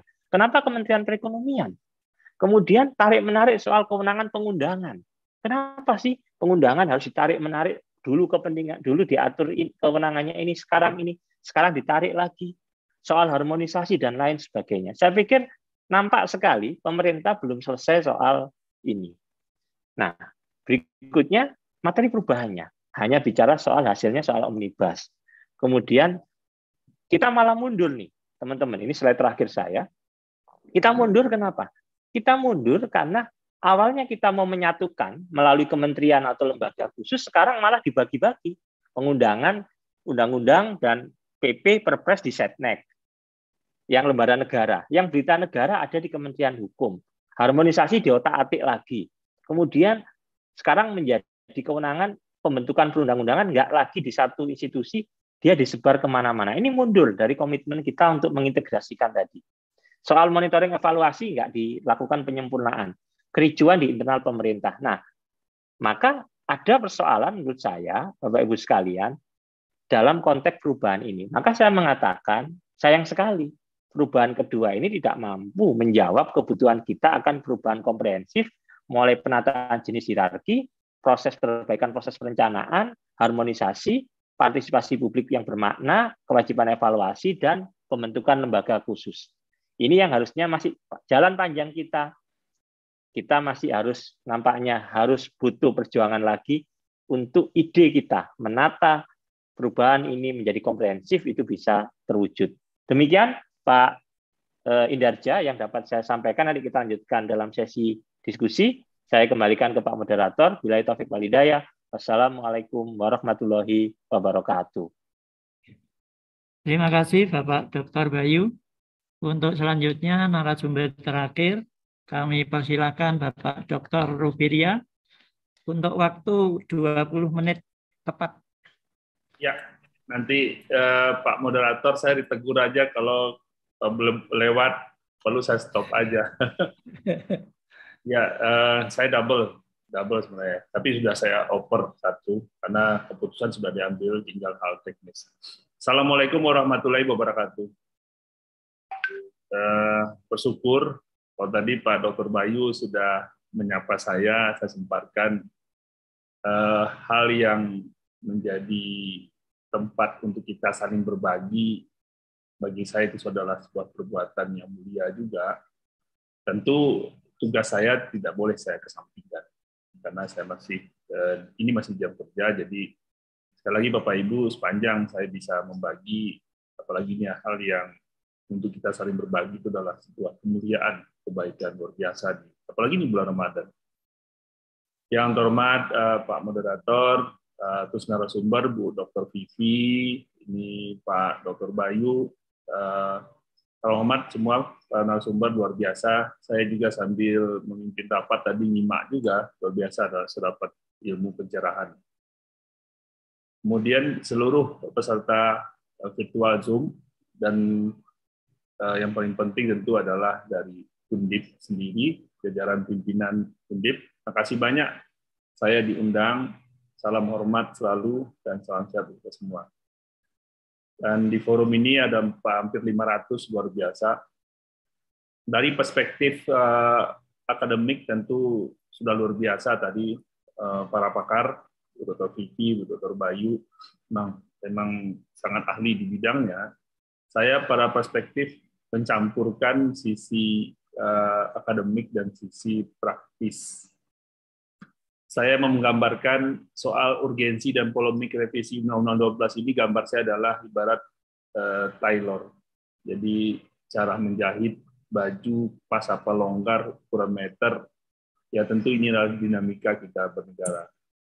Saya lanjut Bapak Ibu. Nah, dinamika ini menurut Prof. Safri Nugraha Amalkum, guru besar UI juga, dan juga uh, Pak Julinik yang juga Prof. Hamid Esata Mimi, juga akademisi dan praktisi perundang-undangan. Beliau ini Prof. Hamid, dan juga eh, guru besarnya Prof. Mario juga, dan Prof. Mario guru besar kami juga.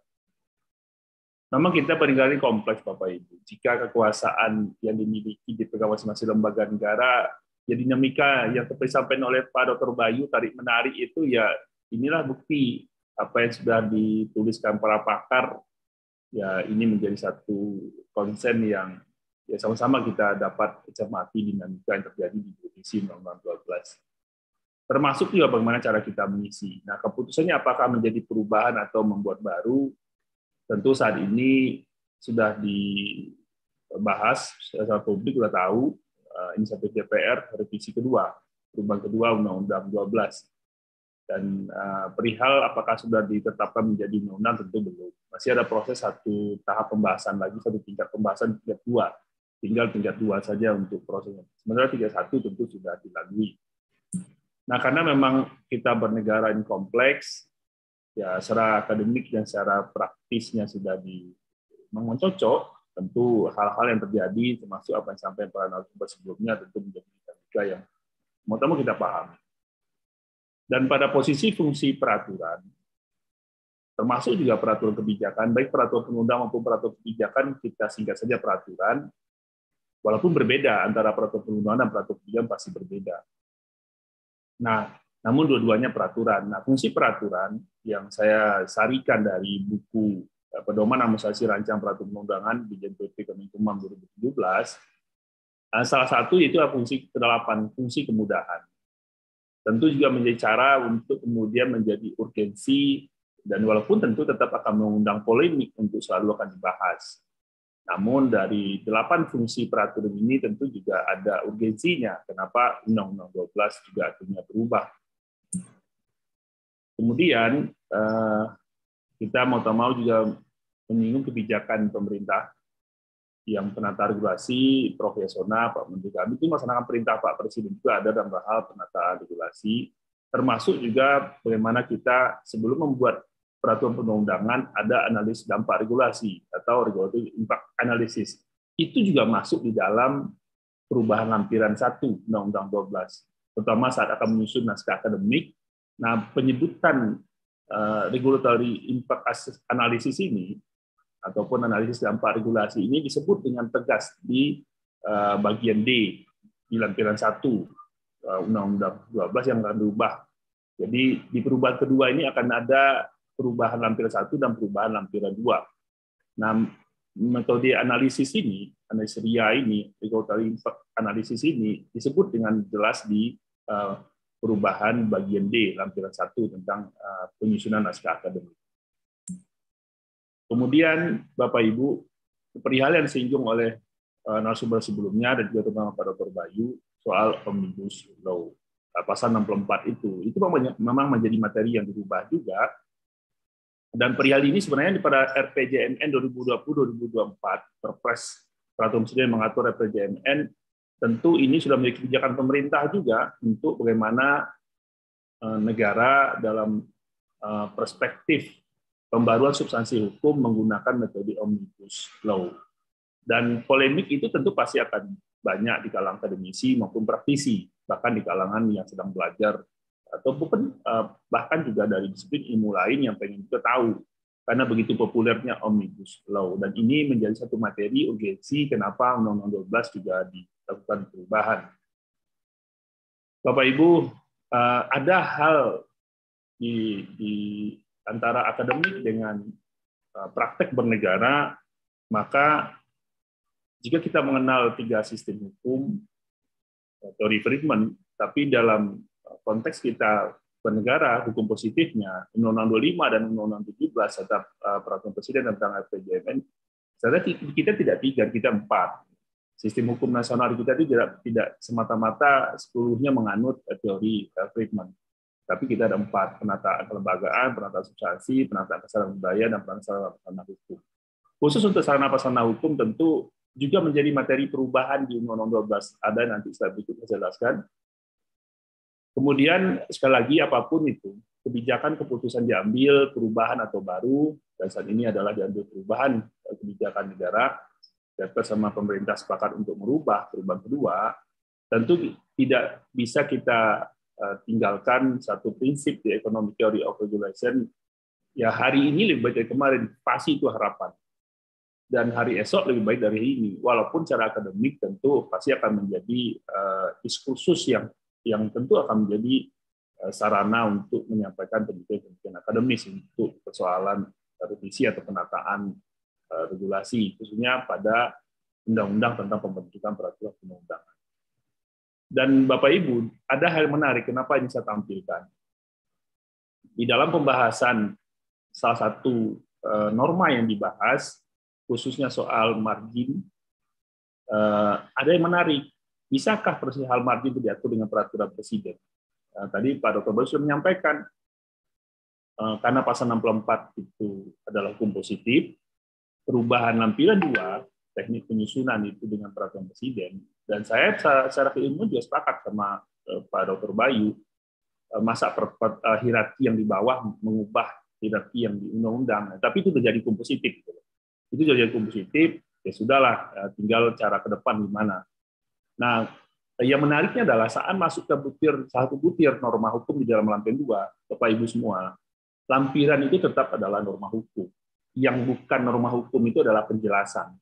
Sehingga salah satu norma hukum di dalam lampiran saat membahas margin ada hal yang menarik, ada pendapat inginnya diatur di peraturan presiden, bahkan ingin diatur oleh pemerintah. pertanyaan hukumnya secara ilmu ketatanegaraan hukum tata negaranya atau ilmu peraturan perundangnya, bisakah peraturan pemerintah atau peraturan presiden bahkan peraturan menteri mengatur kekuasaan legislatif, mengatur kekuasaan yudikatif. Nah, tiga kekuasaan pembentuk legislasi ini kan kita sudah terima teori tes politika Montesquieu. Nah, hal-hal seperti ini menjadi materi yang akhirnya diputuskan tetap harus di tingkat undang-undang. Sehingga teori yang disampaikan oleh eh, Pak Dr. Bayu, saya keinginan menjadi pas kebijakan politik hukumnya yang diputuskan oleh eh, DPR bersama pemerintah untuk kemudian dinyatakan perubahan teknik tetap dilakukan di tingkat undang-undang sehingga materi perubahan revisi nomor 12 juga pada sisi selain tidak hanya lantai dua, lantai satu juga dilakukan perubahan yang terkait dari metode analisis tadi sebelum dibuat. Dan kemudian bicara urgensi dan uh, polemik, Bapak Ibu, saya menyadu dari buku Alternative Dispute Resolution, saya modif, hal yang mendorong terbitnya regulasi tentu harus kita pahami juga, ini semua kata-kata yang bisa saya tampilkan, apakah kita ingin speed, kecepatan. Jadi kecepatan ini Bapak Ibu eh, ada yang bisa memaknai buru-buru, terburu-buru, tapi bisa juga eh, sama kita memahami eh, berbagai jenis kendaraan bermotor, CC-nya kapasitas mesinnya sekian, itu bisa lebih cepat dari CC-nya yang lebih rendah. Tentu persoalan ini akan menjadi diskursus yang tentu juga menarik di kalangan akademik. Apakah bicara formalitas, bicara ekonomik, bicara softening of birokrasi, increase participation itu menjadi hal yang mendorong dan persoalan meaningful participation juga sudah menjadi materi muatan untuk dirubah di dalam revisi 12.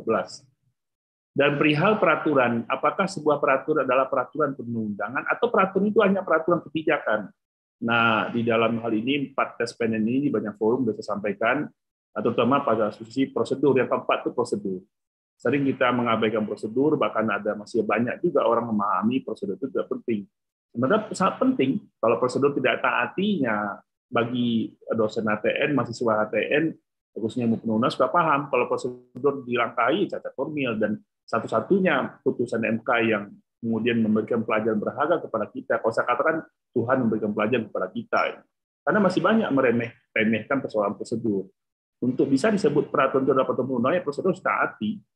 Kalau enggak prosedur di dalam Undang-Undang 12 dirubah. Gitu. Tentu menjadi urgensi juga persoalan prosedur ini. Kita lanjut. Nah, ini tahapan pembentukan undang-undang Bapak Ibu. Bapak Ibu dalam satu slide ini bisa pahami, tapi jangan samakan dengan PP dan Perpres. Hanya undang-undang yang ada 03 khas. 03 khas itu pembahasan. Pembahasan 31 dan 32. Dan saat ini revisi nomor 12 31 sudah selesai. Tinggal tinggal tinggal uh, tingkat duanya saja. Nah, untuk 32 tentu nanti karena DPR sudah reses, nanti setelah lebaran berarti 32-nya. Untuk PP dan Perpres tidak ada itu. 03 eh, khas itu tidak ada. Karena tidak ada 31, 32. Jadi Bapak Ibu baca Undang-Undang 12, saya sudah simpulkan ini untuk undang-undang. Nah, singkatan barlu itu penyebar luasan. Di situlah bisa partisipasi masyarakat. Yang ada barlunya tentu bisa uh, posisi uh, partisipasi masyarakat, kecuali barlu yang pengundangan. Kalau pengundangan tinggal pengundang masa masyarakat didengar juga artinya nggak jadi gitu bahwa nanti negara tidak akan maju kalau apa sudah dibahas tidak tentangnya hanya karena sebuah masukan gitu. Di mana masyarakat bisa meaningful participation ya sejak 01 REN di perencanaan 02 SUN penyusunan 03 HAS itu untuk undang-undang kalau untuk PP Perpres Permen tidak ada 03 HAS yang ada adalah 01 REN 02 SUN nah, di dalam 02 SUN atau penyusunan itu ya ada proses penelitian antar kementerian, ada proses harmonisasi di dalam penyusunan.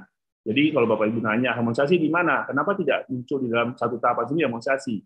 Eh, harmonisasi itu ada di dalam 02 SUN, Bapak Ibu. Nah, kalau tingkat undang-undang memang ada 03 khas.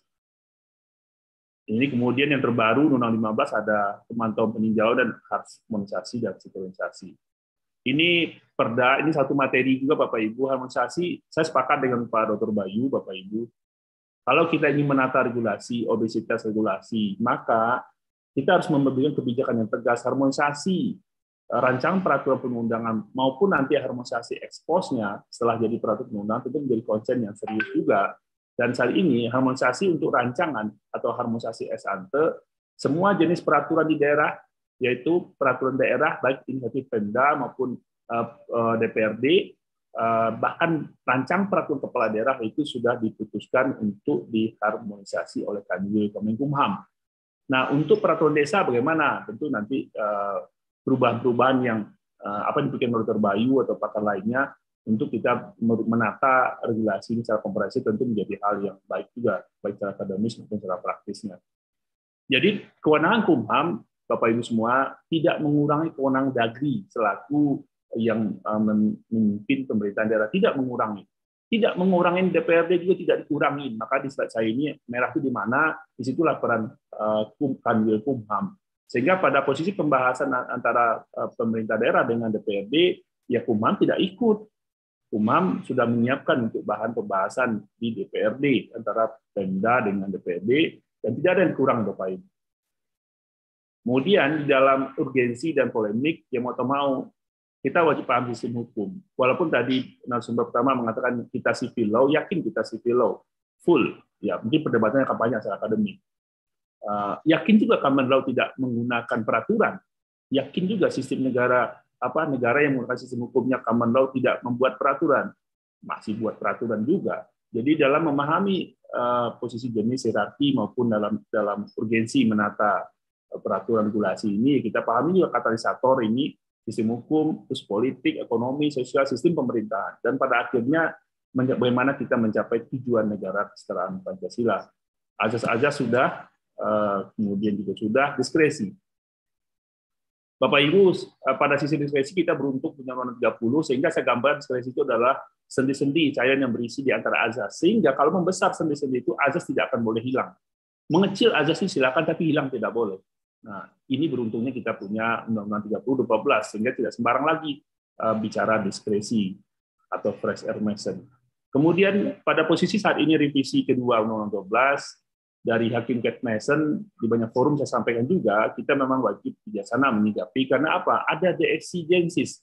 Exigencies inilah yang mendasari atau kita pahami suasana kebatinan atau ada situasi tertentu sehingga melahirkan undang-undang itu yang dirubah. Perubahan itu dilakukan walaupun si akademik tentu akan didiskursuskan lagi persoalan itu. Dan kemudian eh, eh, dua hal yang akan selalu bersama kita di samping exigencies ya kita sadar kita tidak sempurna. Karena kalau mungkin kesempurnaan ya akan selesai. Dan sama juga eh, Bung Karno mengatakan kalau Indonesia mau merdeka tersedia tersedia dulu SDM yang mumpuni, tersedia dulu segala macam infrastruktur negara nggak akan merdeka Indonesia. Ya, sama juga karena memang kita tidak akan pernah sempurna. Nah, namun tentu masukan dari akademik sangat luar biasa baik untuk menyempurnakan pemberantasan pembentukan peraturan perundangan. Kemudian Bapak Ibu eh, dalam sisi penafsiran eh, berkenan kita sama-sama menggunakan golden rule walaupun teori eh, penafsiran tentu ada banyak teori itu. Saya gunakan saja yang dari Michael Zander, law proses ada yang bagus golden rule. Golden rule itu adalah membaca undang-undang jangan satu pasal. Bacalah pasal-pasal yang lain. Semoga banyak terjawab sebelum melakukan hal-hal yang nanti berdampak tidak baik misalkan pada posisi tidak setuju dia satu pasal padahal baca dulu pasal yang lain supaya terjawab dengan sendirinya. Harmonisasi Bapak Ibu saya menggambarkan saja yang paling sulit itu adalah harmonisasi kebijakan sosial. Kalau harmonisasi kebijakan ekonomi sudah undang-undang cipta kerja kita. Harmonisasi kebijakan politik juga sudah. Ada juga omnibus law di undang-undang pemilu. Nah kita kerja ada omnibus law di undang ekonomi. Yang kebijakan sosial memang tidak mudah Bapak Ibu. Dan itu pasti akan selalu menjadi ruang-ruang yang akan selalu diisi baik oleh akademisi, praktisi maupun dari pengamat ataupun dari para rakyat biasa. Oh, nah tadi tiga menit lagi Bapak Rufidi ya. Oh, Alhamdulillah masih ada tiga menit. Bapak Ibu satu materi yang dirubah menjadi materi muatan adalah baru soal bagaimana nanti pembentukan peraturan perundangan menggunakan kemajuan teknologi informasi. Selama ini kita kita mengatakan sudah melek kita IT sudah, tapi saya katakan baru sisi kiri itu bau. Bau itu Bapak Ibu bisnis as usual. Kita menerima apa? menerima uh, eh, WA, menerima uh, kiriman tulisan itu pada sisi store, transmit, capture itu bau. Nah, yang belum kita lakukan adalah uh, kemajuan teknologi pada sisi proses atau generik yang kita kenal dengan artificial intelligence. Jadi membuat uh, sebuah norma, sampai Bapak Ibu mengetik Google kan satu kata diketik muncul banyak uh, reminder, muncul banyak uh, data dan bahan. Dan, dan kalau dan kalau harapan saya pada posisi ini juga muncul juga kecanggihan teknologi untuk saat membuat norma, oh ini sudah ada di undang-undang ini, tidak perlu lagi dibuat gitu. Oh ini sudah ada, jangan ini bertentangan nanti. Nah itu dimudahkan. Nah itu yang belum juga dan di dalam revisi dua ini ada materi muatan untuk bagaimana memanfaatkan IT. Demikian Bapak Ibu, semoga tidak berlebih. Wabillahi taufiq Assalamualaikum warahmatullahi wabarakatuh. Terima kasih Bapak Dr. Rupiria. Untuk selanjutnya tiba saatnya kita mengadakan tanya jawab. Kami harap Bapak Ibu ini tadi bukan hanya dari PTN PTS mungkin yang di luar lembaga kami terima kasih sekali. Eh, kami persilahkan untuk angkat tangan dulu atau yang langsung monggo silakan bisa menanggapi, bisa bertanya. Yang chatting nanti juga sudah cukup banyak. Monggo siapa yang bertanya nanti disebutkan nama asal dari mana dan ditujukan kepada siapa narasumbernya.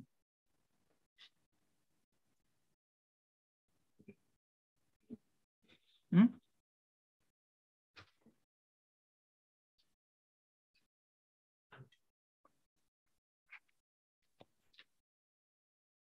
Nih, ini. Hmm? Hmm? Iya, itu. Enggak, maksudnya yang tak baca mana? Itu semuanya ada, Pak. Enggak, mana saya yang tak baca. Yang tanya ini atau ini? Eh, ini aja, oh. Hmm? Yang di yang di sini. Tutup aja, Pak. Ini ada yang dari chatting. Saudara Yulfikar ingin bertanya bagaimana para narasumber terkait letak kedudukan dan hierarki peraturan OJK Bank Indonesia dan Dirjen seperti peraturan Dirjen Pajak yang sifatnya juga mengikat secara umum dalam oktip Undang-Undang 12 2011 Yunto Undang-Undang 15 2019 tidak disebutkan dan diakomodir secara tegas bagaimana hmm, baik di dalam pasal dan penjelasannya. Kalau peraturan menteri walaupun tidak disebutkan secara eksplisit dalam pasal 7, tapi berdasarkan teori hukum bisa dijelaskan bahwa letak permen itu berada di bawah perpres karena menteri merupakan bawahan dari presiden. Kecuali mungkin jika undang-undang memerintahkan atau mendelegasikan langsung pengaturannya dengan baju hukum permen. Mungkin bisa dijadikan pertimbangan untuk memasukkan peraturan OJK, BI, dan Dirjen ke rancangan pembentukan peraturan perundangan. Monggo, mungkin dari para narasumber yang terkait ini, tadi jenis dan hierarki, ini mungkin tadi kayaknya untuk jenis dan hierarki ini lebih banyak Pak Bayu tadi karena pengen menata ya. dulu. Monggo Pak Bayu. Baik, makasih uh, Pak Indarja. Ini uh, makasih uh, Saudara uh, Julfikar ya. Uh, kalau kita lihat uh, bicara soal mana yang merupakan jenis peraturan perundang-undangan, mana yang bukan, harus dibedakan antara kerangka uh, teoritis dengan hukum positifnya begitu. Jadi uh, kalau saya misalkan uh, menyatakan beberapa uh, jenis peraturan uh, itu bukan peraturan perundang-undangan di dalam pasal 8 ayat 1 itu adalah sebatas pandangan saya yang tidak bisa disebut sebagai hukum positif karena itu bagian dari uh, analisis saya ya, kritik saya terhadap materi yang ada di dalam pasal 8 ayat 1 Eh, dari Undang-Undang 12 2011. Maka kalau peraturan OJK, peraturan BI jelas dia disebut sebagai jenis peraturan perundang-undangan itu yang pertama kan sehingga eh, hierarki itu kan bicara hierarki peraturan perundang-undangan. Maka kita untuk bisa mengetahuinya kita lihat dulu apakah peraturan itu termasuk peraturan perundang-undangan atau bukan. Nah, peraturan OJK dan BI jelas adalah masuk dalam peraturan perundang-undangan yang mendapat alas hukum di pasal 8 ayat 1. Sementara kalau peraturan dirjen jelas baik di dalam pasal 8 eh, ayat 1 maupun di dalam teknik penyusunan di lampiran 2 dia tidak masuk dalam kategori sebagai peraturan perundang-undangan. Makanya tidak pernah kita jumpai peraturan dirjen diundangkan. Karena kan e, sifat dari peraturan perundang-undangan itu untuk dapat diberlakukan dia diundangkan baik dalam lembaran negara maupun lembaran maupun berita e, negara maupun e, e, berita daerah begitu. Nah, dalam konteks ini pertanyaan berikutnya di mana letak hierarki peraturan OJK dan peraturan BI? Undang-Undang 12 2011 nggak bisa jawab itu. Kalau kita baca secara gramatikal, secara leksikal, nggak kita bisa temukan. Karena di dalam pasal 7 ayat 1 letak mengenai hierarki, tidak ada kan di situ letak hierarki peraturan OJK atau peraturan BI yang kita sebut sebagai peraturan Komisi Negara Independen misalkan atau State Auxiliary Organ begitu ya. Letaknya di mana? Yang ada adalah selama ini menafsirkan. Nah, padahal nggak bisa. Harusnya Undang-Undang 12 itu kan untuk kepastian hukum harusnya jelas letak peraturan semacam ini di mana. Itu yang saya katakan ini sangat urgent, tapi selalu luput dari perhatian para uh, pembentuk Undang-Undang 12 2011. Revisinya nggak pernah menyasar ke sana, padahal ini dasar-dasarnya nggak pernah selesai. Nah, jadi kalau ditanya di mana letak hierarkinya, ya nggak bisa jawab. Kenapa? Karena nggak ada di Undang-Undang 12. Tapi kalau ditafsirkan dalam konteks uh, menggunakan pandangan-pandangan teoritis, kita bisa berpandangan.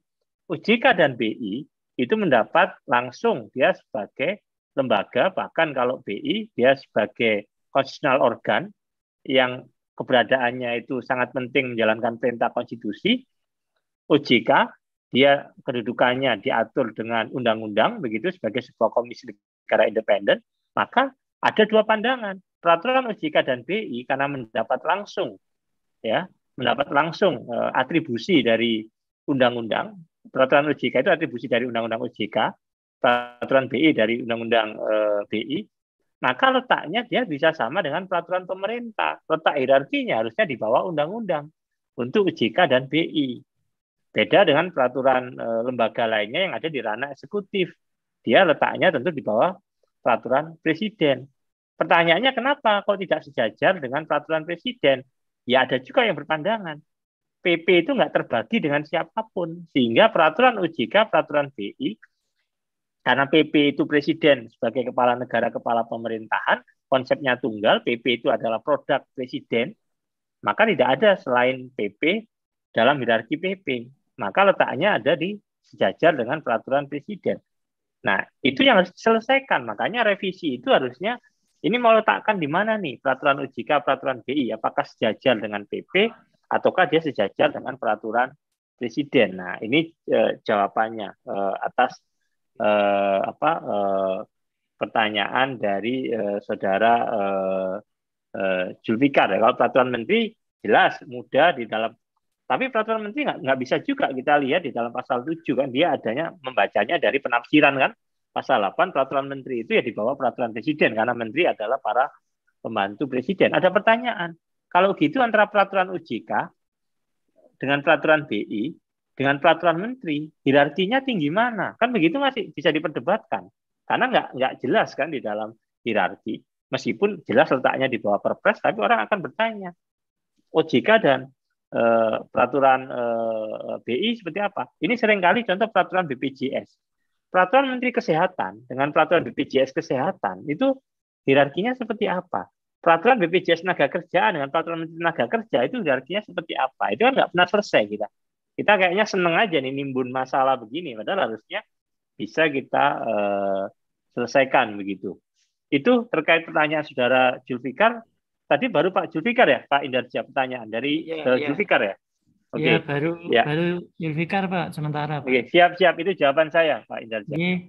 Uh, mungkin Bu Viviana dan Pak Roberia monggo kalau mau menambahkan. Uh, saya menambahkan aja menguatkan dari Pak Dr. Bayu. Untuk peraturan dirjen Bapak Ibu kita pahami juga yang namanya uh, ketatanegaraan pada sisi struktur kelembagaan. Dirjen itu adalah eselon satu dan ini bukan lagi sisi teori sudah menjadi positif. Kewenangan mengatur ke eselon satu itu di, di, dilarang. Teknik itu ada di dalam 2 Undang-Undang 12. Jadi tidak boleh mendelegasikan kewenangan mengatur ke eselon satu itu ada di ketentuan 213. Nah, Bapak Ibu kalau yang membaca sekilas akan bingung dengan ketentuan angka 214. Yang boleh ke 1 itu adalah pelaksanaannya, bukan kewenangan mengatur. Jadi Bapak Ibu jangan dorong-dorong lagi itu peraturan dirjen jadi peraturan perundang-undangan. Kacau balau kita nanti bernegara nanti. Nanti yang mana menteri, mana yang bawahan, nah, nanti bawahan malah lebih wow daripada menterinya. Nah, rusak kita bernegara. Jadi sudah banyak ditertibkan oleh Prof. Widodo, Dirjen PP, juga Prof. Beni, atau paling Prof. Yasona, Pak Menteri Hukum, banyak menata itu. Jadi eh, semoga uh, di forum ini para dosen, uh, baik dosen tetap, dosen tetap, atau para mahasiswa, atau para praktisi, jangan didorong-dorong lagi peraturan dirjen itu jadi peraturan perundang-undangan. Nanti rusak kita bernegara, nanti selesai masalah. Karena disharmonisasi itu lebih banyak pada tingkat peraturan di bawah. Jadi sekali lagi Bapak Ibu makin ke bawah itu jumlah pun makin banyak regulasi itu. Jadi kalau untuk peraturan dirjen saya tegas saja Pak Moderator, Bapak Ibu semua, nah, bagi saya kalau peraturan dirjen mau didorong jadi peraturan perundangan terlalu nanti energi bangsanya habis hanya untuk mendamaikan eh, konflik-konflik kewenangan, konflik-konflik kepentingan bawahan apa mengalahkan atasan lebih parah, lagi. Yang yang lalu sudahlah berlalu. Jadi dulu peraturan dirjen pajak wow banget. Nah sekarang Kemenku sudah taat, sudah tertib. Eh, materi muatan di peraturan pajak diangkat ke peraturan Menteri Keuangan mereka sudah sudah taat. Jangan didorong lagi, jangan dibuka lagi ruang-ruang diskusi ilmiah eselon 1 bisa membuat peraturan perundang-undangan. Kalau membuat peraturan silakan peraturan kebijakan, tapi bukan peraturan perundang-undangan. Demikian dari saya ketegasan. Eh, mohon maaf kalau tegas di forum ini, Pak Moderator, Bapak Ibu semua. Terima kasih Bapak Roberia. Bu Viviana mungkin ada tambah. Ya. Ya, terima kasih Pak Indarjo atas kesempatannya. Jadi sebenarnya saya hanya menegaskan ya. Jadi eh, apa yang disampaikan oleh Pak Dr. Bayu tadi Eh, bahwa peraturan BI itu kalau kita mengacu pada pasal 8 ayat 1 memang merupakan salah satu jenis peraturan. Tetapi memang kalau kita mau melihat hierarkinya, karena pasal 7 ayat 1 ini eh, tidak sama sekali tidak menyebutkan peraturan BI sebagai salah satu eh, jenis dan hierarki, memang tidak bisa dimasukkan di situ. Justru tadi Dr. Bayu kan menyampaikan salah satu yang harus eh, dirubah atau salah satu kelemahan dari Undang-Undang 12 tahun 2011 itu karena hierarkinya yang tidak jelas tadi ya. Kemudian eh, tadi juga terkait dengan apa yang disampaikan Pak Ruberia, ya, saya juga sepakat bahwa eh, apa namanya peraturan dirjen itu memang semua lingkungan jabatan itu punya kemenangan untuk, untuk peraturan, tetapi tidak semua harus menjadi peraturan perundang-undangan. Mungkin itu bisa hanya bersifat intern itu saja. Itu Pak In yang bisa saya tambahkan. Terima kasih. Terima kasih Bu Viviana. Untuk selanjutnya ini ada Saudari Amelia. Izin bertanya, bagaimana kiranya ketutup ini. Ketutup. Nah, izin bertanya bagaimana kiranya perubahan Undang-Undang 12 2011 dilakukan agar tidak sekedar merupakan justifikasi dari Omnibus Law, bagaimana posisi Omnibus Law pada tata urutan peraturan perundangan? Monggo dari beliau bertiga. Ya, baik Pak Indarja. Ini biar ikan cepat, ikan gabus makin cepat makin bagus. Jadi saya langsung uh, jawab saja. Itu yang tadi saya bahas ya, kita semua bahas. Jadi mengubah undang-undang itu kan pasti ada justifikasinya, justifikasi urgensi dan justifikasi kontribusi. Maka saya katakan, kalau kita hanya mau ngasih alas hukum, landasan hukum, teknik penyusunan, saya bilang omnibus hanya teknik penyusunan kan, melalui satu rancangan undang-undang bisa mengubah banyak hal tanpa materinya harus terkait, ya seperti undang-undang kita kerja lah. Maka saya katakan, kalau hanya lanjuti putusan MK 91 2020 ya eh, yang dibacakan November 2021 sayang kenapa? Kalau hanya sekedar itu gunakan saja pasal 64 Undang-Undang 12 ubah lampirannya ya lampiran dua dengan peraturan presiden itu saya pikir sangat cepat sekali nggak perlu harus dibahas eh, di DPR kalau hanya terkait alas hukum toh hanya soal teknik penyusunan, teknik kan ada di lampiran dua.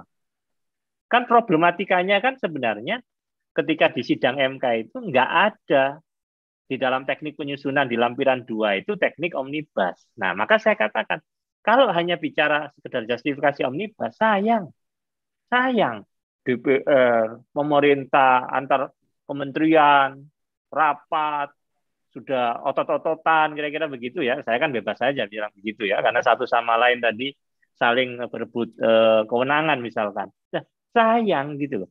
Maka saya katakan harusnya sama-sama proses legislasi dilakukan, beri waktu yang cukup, bahas secara ini.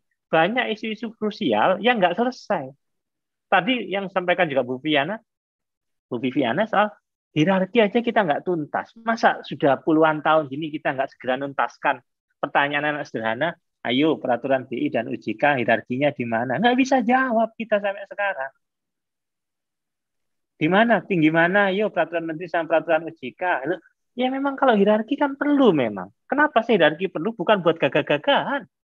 Kalau nanti ada materi yang satu sama lain itu saling kemudian bertentangan, kalau ada konflik, biar hakim itu enak menyelesaikan.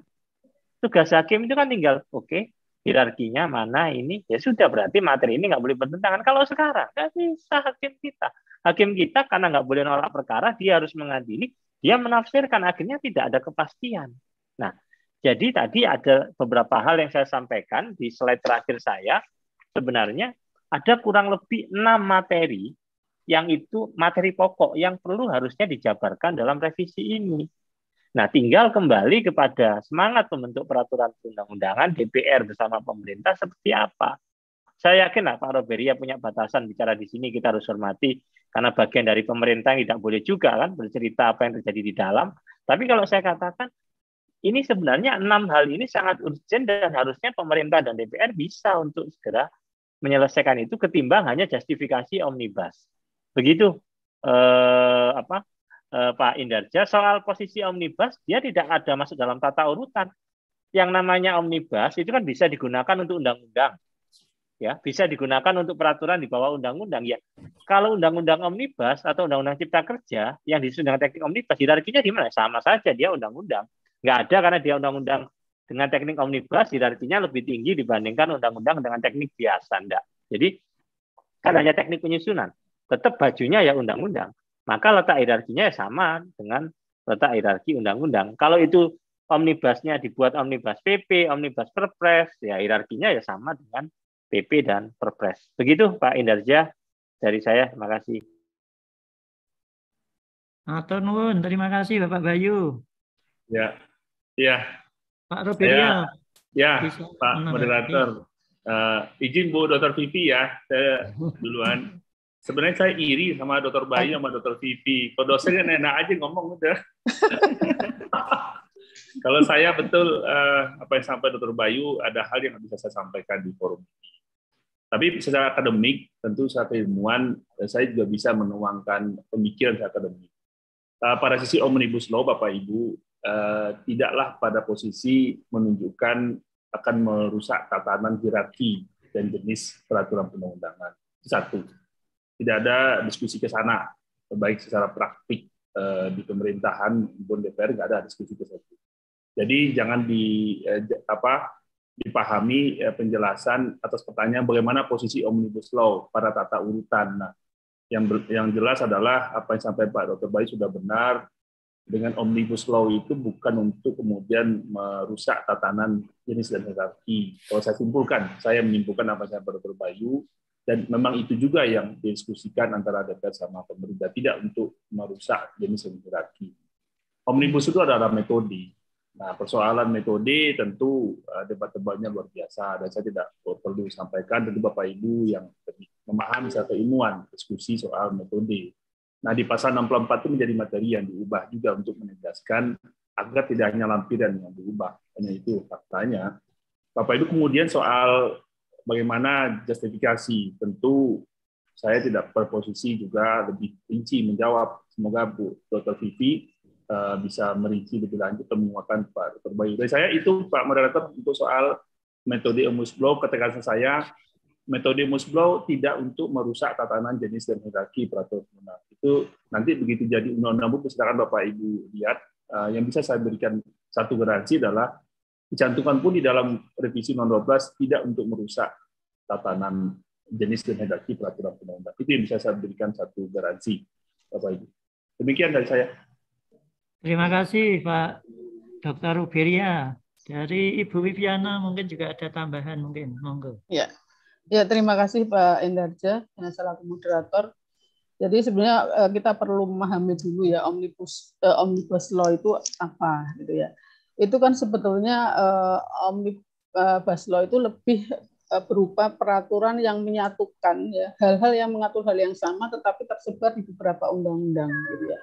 Jadi eh, seperti Undang-Undang Cipta Kerja itu tadinya kan tersebar di banyak sekali undang-undang yang mungkin kalau tidak salah sekitar lebih dari 80 gitu. Kemudian dijadikan satu menjadi satu undang-undang. Ya jadi tadi seperti disampaikan eh, baik Pak Dr. Bayu maupun Pak Dr. Rupiria bahwa tentu saja ini nanti juga kedudukannya sama atau kalau dilihat dari hierarkinya sama dengan undang-undang karena ini eh, apa just, eh, merupakan undang-undang saja eh, undang-undang juga gitu ya. Kemudian teknik tadi juga perlunya perubahan ini di bidang teknik tadi bagaimana teknik yang harus apa namanya dilakukan dalam apa namanya membentuk omnibus law ini ya karena memang selama ini kan belum ada ya belum ada teknik untuk membentuk itu jadi uh, tapi juga sudah disampaikan oleh Dr. Bayu uh, yang perlu dirubah yang terkait dengan ini hanya pada tekniknya saja jadi bagaimana uh, teknik membentuk omnibus law itu Pak Indarjo, terima kasih. Ya. Terima kasih Bu Vivi dan Bapak Ibu semua. Mungkin masih ada ini. Bisa ditayang lagi. Masih ada satu dari Bu Sekar Anggun. Izin bertanya kepada para narasumber berkaitan dengan metode Omnibus Law Bagaimana kiranya peluang dan tantangan jika metode Omnibus Law diakomodir dalam sistem perundang-undangan di Indonesia? Mengingat selama ini Omnibus Law lazimnya digunakan oleh negara-negara common law. Monggo, Bapak Bayu. Jadi eh, Terima kasih uh, Bu Sekaranggun. Saya pikir uh, soal uh, common law, civil law sekarang kita sudah sudah sangat cair sekali ya dalam berbagai diskusi, dalam berbagai seminar pun sudah dalam berbagai jurnal juga dikatakan keberadaan peraturan perundang-undangan itu memang sangat penting bagi negara-negara dalam konteks mencapai tujuan-tujuan bernegara yang telah digariskan, utamanya juga mencapai akselerasi eh, kait ekonomi dan lain sebagainya. Jadi memang eh, eh, omnibus law begitu ya eh, banyak memang digunakan oleh negara-negara yang manut common law, tapi karena dia hanya teknik penyusunan, eh, maka eh, penggunaannya juga eh, tidak ada eh, kaitannya langsung dengan eh, common law atau civil law, karena teknik penyusunan itu hanya bicara Eh, apakah dalam satu eh, rancangan eh, undang-undang begitu dalam satu undang-undang kita hanya membatasi satu materi tertentu misalkan undang-undang sumber daya air gitu ya. Kalau teknik biasa maka yang nggak ada sangkut pautnya sama sumber daya air kan nggak mungkin masuk begitu. Nah tapi kalau omnibus kita boleh saja satu sisi di bagian ini ngatur sumber daya air di bagian lain itu bicara soal administrasi pemerintahan bicara soal kemudian eh, apa pelayaran, bicara soal penerbangan, undang-undangnya ada yang kita ubah, ada yang dicabut. Jadi ibaratnya satu proses legislasi di dalamnya ada paket-paket eh, undang-undang yang kita perbaiki yang dalam rangka mencapai satu agenda pemerintah tertentu, misalkan investasi, eh, peningkatan lapangan pekerjaan dan lain sebagainya. Jadi sebenarnya hanya sebatas soal teknik penyusunan. Nah, kalau soal kemudian common law civil law, saya pikir tidak uh, menjadi satu patokan bahwa omnibus itu hanya untuk common law, civil law tidak mengenal uh, omnibus begitu. Saya pikir uh, itu dan peluang tantangannya, saya pikir uh, sangat terkait begini. Saya tidak pernah mengatakan teknik omnibus nggak bisa kita gunakan ya. Itu saya pikir kita akan jadi sangat uh, apa ya sempit sekali kalau kemudian teknik kok nggak boleh begitu ya Tapi yang paling penting harus ketahui eh, kelemahan dari penggunaan teknik. Itu yang harus kita teknik omnibus, itu yang harus kita kita antisipasi. Kan begini. Kalau kita menyusun undang-undang dengan teknik biasa, itu kan ada satu landasan filosofis yang kita lihat. Kalau sumber daya air ya bagaimana kita eh, terkait dengan kelestarian sumber daya air satu sisi nilai ekonominya juga bisa kita optimalkan tanpa mengurangi soal tadi soal kelestarian air. Nah, kalau kita bicara undang-undang penerbangan, pasti bicara bagaimana pengelolaan wilayah udara dan lain sebagainya, industri penerbangan kita. Nah, punya landasan filosofi sendiri-sendiri. Nah, masalahnya kalau omnibus, dengan teknik omnibus, bagaimana seluruh landasan tadi, satu sisi undang-undang pelindungan pengelolaan lingkungan hidup, begitu ya, itu kan punya filosofisnya sendiri. Itu harus bertemu dengan misalkan terkait undang-undang yang sifatnya adalah eh, pemanfaatan eh, sumber daya alam yang sedemikian eh, apa eh, banyak begitu untuk digunakan. Nah, hal-hal kayak gitu kan tidak mudah menyatukan landasan filosofis tadi. Itu butuh waktu, butuh eh, pembahasan yang benar-benar melibatkan partisipasi yang bermakna tadi. Nah, maksud saya hal-hal yang menjadi saya di dalam tulisan jurnal saya saya eh, kelompokkan keuntungan dan kelemahan teknik omnibus tantangannya. Selama kita bisa antisipasi tantangannya, nggak ada masalah. Tapi jadi masalah kalau teknik ini kita gunakan secara terburu-buru, partisipasinya terbatas, terburu-buru, landasan filosofisnya kita hanya menggunakan satu pendekatan. Ya, kita akan lihat akhirnya banyak kepentingan yang tidak merasa tidak terakomodir. Sehingga akhirnya uji materi KMK sedemikian deras mengalir kan.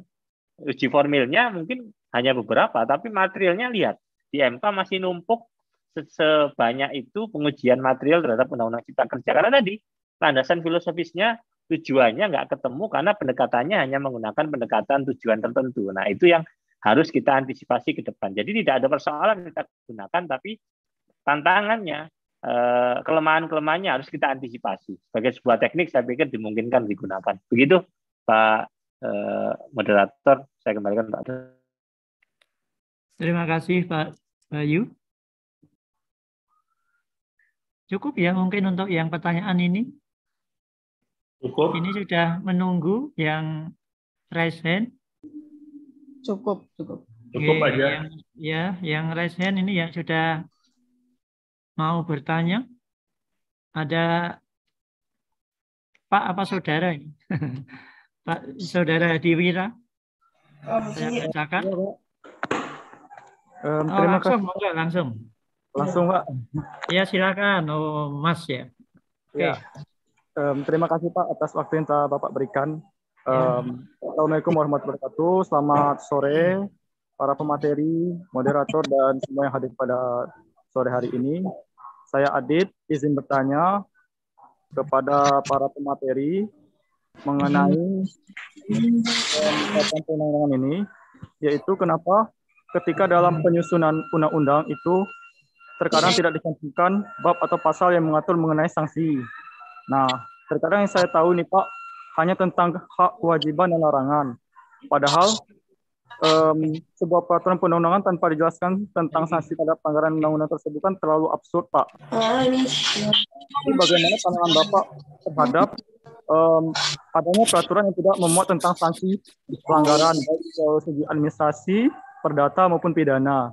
Dan juga bagaimana pandangan Bapak atau Ibu terhadap pergeseran tujuan pe- pembentukan peraturan perundang-undangan dari yang bentuknya awal sebagai kodifikasi menuju ke modifikasi. Karena kita ketahui rata-rata banyak sekali pembentuk undang-undang ini kalau mereka nggak mau repot, mereka terkadang ngopi paste yang dari yang dulu ke yang sekarang. Jadi tinggal diedit-edit saja tanpa mem- membuat rancangan dulu seperti buat BIM dengan menurunkan beberapa orang untuk survei ke lapangan apakah ini cocok diterapkan di lapangan ataukah tidak dengan juga mengundang beberapa ahli tanpa harus mencomot-comot aturan sebelumnya yang terkadang itu sangat fatal jika ketahuan oleh para pimpinannya. Terima kasih Bapak Ibu. Eh, untuk pertanyaan ini mohon Pak Dr. Roberia untuk memberikan Ya. penjelasan. soal sanksi eh, di teknik lampiran 2 Undang-Undang 12 sanksi itu dalam kurung jika diperlukan. Bapak Ibu eh, memahami peraturan perundang-undangan tidak berhenti di satu peraturan perundang-undangan. Contoh ada undang-undang mengatur mengenai satu perbuatan yang dilarang. Apa kemudian pada posisi saat dibuat harus dengan tegas juga diatur sanksinya. Nah, kalau pembentuk undang-undang mengatakan itu sudah ada sanksinya di undang-undang kitab undang-undang pidana, ya maka pembentuk undang-undang yang undang yang, yang baru ini yang membuat larangan tadi nah, tentu tidak perlu mencantumkan lagi karena sudah ada sanksi di kitab undang-undang pidana pada sanksi pidana. Nah, pada sanksi perdata dan administrasi tentu kan menjadi pilihan politik hukumnya apakah juga akan dikenakan sanksi perdata, sanksi administrasi. Jadi perihal pertanyaan soal teknik penyusunan, kenapa tidak selalu di setiap peraturan perundang-undangan, baik undang-undang, PP, Propres, Permen, Perda itu selalu ada sanksi, apa tidak selalu ada sanksi, atau apakah harus selalu ada sanksi? Nah ini kembali eh, Pak Hadi membaca lagi lampiran dua undang-undang dengan baik dan cermat sehingga bisa menjawab itu. Dan bukan berarti tidak ada di dalam eh, regulasi itu tidak bisa dikenakan sanksi atas eh, rakyat yang melanggar tentu peraturan perundang di satu peraturan perundangan. Misalkan melanggar uh, peraturan presiden misalkan, oh tidak bisa dikenakan sanksi. Hati-hati Bapak Ibu. Memahami peraturan perundangan tidak berhenti di satu peraturan perundangan. Jadi jika di peraturan perundangan sudah mengatur sanksi dan peraturan yang lain kemudian mengatur perbuatan hukum materialnya yang di maka bisa saja penegak hukum mengatakan oh karena melanggar perpres pintu masuk melanggar undang-undang itu bisa saja dalam penegakan hukum dan sudah banyak kejadian seperti itu. Nah, apalagi sanksi perdata, sanksi administrasi tentu bisa pada tingkat yang di bawah undang-undang. Nah, di, di satu peraturan presiden atau satu peraturan menteri ada sanksi administrasi, tapi di peraturan menteri lain tidak ada sanksi administrasi. Apakah dia bisa dikatakan tidak akan terkena sanksi melanggar peraturan menteri yang tidak ada di dalam peraturan menteri itu rumusan tentang sanksi? Ya bacalah peraturan menteri yang lain karena sanksi administrasi bisa saja ditundukkan kepada eh, peraturan menteri yang sudah keluar duluan.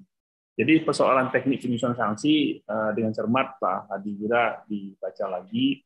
Kemudian pada posisi uh, hal yang lain, ini apa nih kodifikasi ke modifikasi mungkin Pak Dr. Bayu lah. Ini secara keilmuan Pak pakar sama Bu Dr. TV. Saya bisa itu Pak moderator dan dengan salah hormat saya harus minta izin karena ini rapat berikutnya sudah menunggu lagi. Saya tadi sudah buka dulu rapat, terus ini ada rapat lagi. Ya mohon dimaklumi dengan sangat karena sekali lagi saya, saya bisa hadir berbagi. Tapi bukan berarti tugas utama saya sampingnya nanti kena kena semprit saya nanti izin Pak Moderator, Bapak Ibu semua yang segala hormat, saya harus Pak Dr. Bayu, Bu Dr. Vivi. Ya, makasih Pak Dr. Baria. Izin saya lihat kalian. Terima kasih sekali Bapak Dr. Roberia yang telah meluangkan waktu untuk meramaikan, untuk mengisi, memberi ilmu di dalam webinar siang hari ini. Sekali lagi Matur nuwun. Ya, izin live. Assalamualaikum. Waalaikumsalam. Bu Viviana, monggo kalau ada tambahan. Terima kasih Pak Moderator. Jadi uh, terkait dengan apa namanya uh, tadi mengenai sanksi tadi juga sudah dijawab dengan gamblang oleh Pak Dr. Roberia bahwa sanksi itu ada di lampiran ya bahwa memang tidak semua peraturan perundang-undangan itu uh, apa namanya memuat sanksi. Nah, kalaupun harus memuat sanksi itu tetap bisa. Tadi juga disampaikan bahwa yang uh, kalau kita melihat pada Undang-Undang 12 2011 itu yang bisa memuat sanksi pidana kan hanya undang-undang dan perda. Gitu. Ya. Tetapi ini tidak berarti bahwa PP itu eh, apa namanya melanggar PP tadi sudah disampaikan tidak bisa kena sanksi. Kalau undang-undang yang mengatur tentang sanksi tentu saja juga bisa kena sanksi ya. Kemudian yang terkait dengan eh, apa namanya dari kodifikasi ke modifikasi ya. Nah ini memang apa namanya eh, fenomena ini memang terjadi ya dalam bentukan undang-undang ya. Bahwa banyak sekali uh, rancangan undang-undang yang sudah masuk prolegnas itu kemudian tidak bisa dibentuk ya. Tidak selesai eh, tidak diselesaikan oleh pembentuk undang-undang.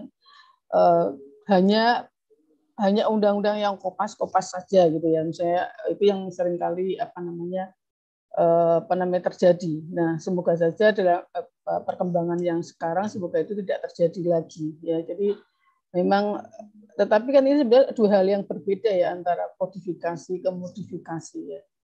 Kodifikasi itu kan penyatuan eh, undang-undang, sedangkan modifikasi ini tadi apa namanya eh, apa namanya membentuk suatu undang-undang dengan tadi uh, hanya menambahkan bagian-bagian penting dengan uh, berdasarkan copy paste dari undang-undang yang lain. Ya ini memang yang harus apa namanya uh, ini cukup menjadi keprihatinan kita bersama ya. Semoga saja ini nanti mungkin uh, Pak Dr. Bayu yang memang banyak hubungan dengan DPR, MPR ini yang nanti bisa memberikan jawaban yang lebih baik. Gitu Pak Moderator, terima kasih. Terima kasih Bu Viviana. Yang terakhir Pak Bayu masih menambahkan Pak Bayu. Cukup Pak, ini tadi sudah Cukup. jelas dari Pak Dr. Roberia dan Bu Viviana. Pak. Oke. Satu pertanyaan lagi. Silakan Bapak Ibu Saudara sekalian yang masih belum puas Satu lagi penanya. ya, ini terakhir ini. Saudara Ahmad, merujuk pada putusan MK nomor 91 2020, salah satu pertimbangan hukumnya ialah mengenai partisipasi masyarakat yang lebih bermakna, di mana partisipasi tersebut harus dilakukan dalam tahapan pengajuan RUU, pembahasan, persetujuan bersama, Kemudian pertanyaannya ialah, menurut para pemateri, bagaimana grand design partisipasi masyarakat dapat diimplementasikan dalam tiap tahapan tersebut? Yang kedua, tolong dinaikkan, ketutup. Melihat fenomena saat ini, waktu pembentukan undang-undang sering kali tergesa-gesa dan kilat. Pertanyaannya, apakah kemungkinan dalam proses pembentukan undang-undang nantinya dapat mengadopsi konsepsi first track legislation? Jika jika iya, bagaimana konsekuensi terhadap pembentukan Perpu? Terima kasih.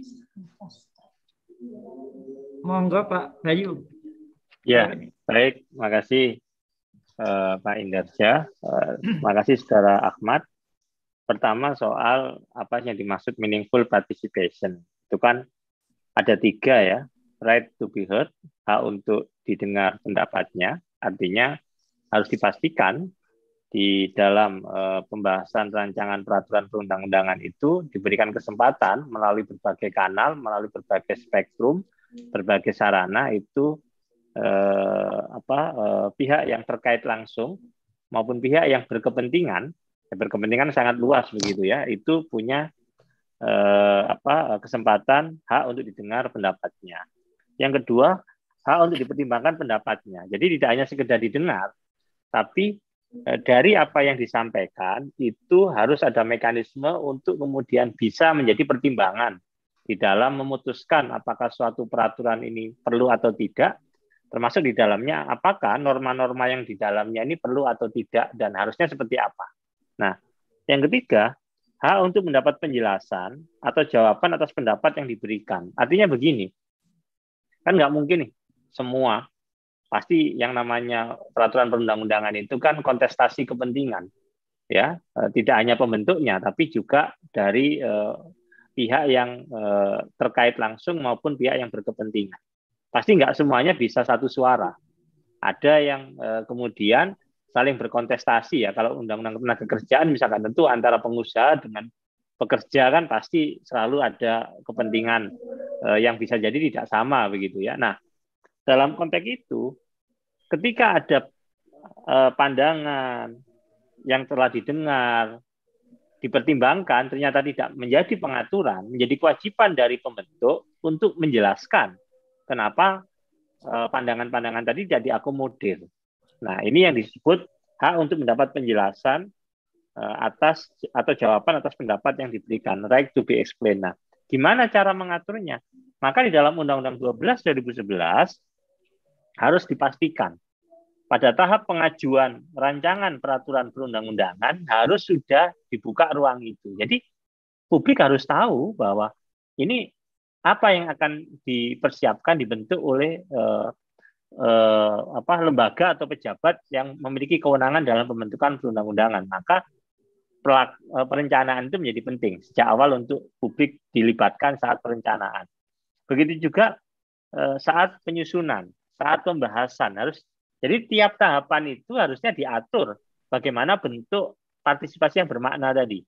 Bukan hanya satu pasal partisipasi itu disebut seperti itu. Tidak, tapi dia melekat pada setiap tahapan, mulai dari pengajuan rancangan peraturan perundang-undangan, ya, kemudian pembahasan eh, penyusunan pembahasannya seperti apa, sampai tahapan persetujuan. Jadi mulai pengajuan, mulai penyusunan pembahasan sampai persetujuan. Nah, ruang itu yang harusnya di setiap tahapan. Ini yang saya katakan harusnya diimplementasikan dalam Undang-Undang 12 2011 melalui revisinya.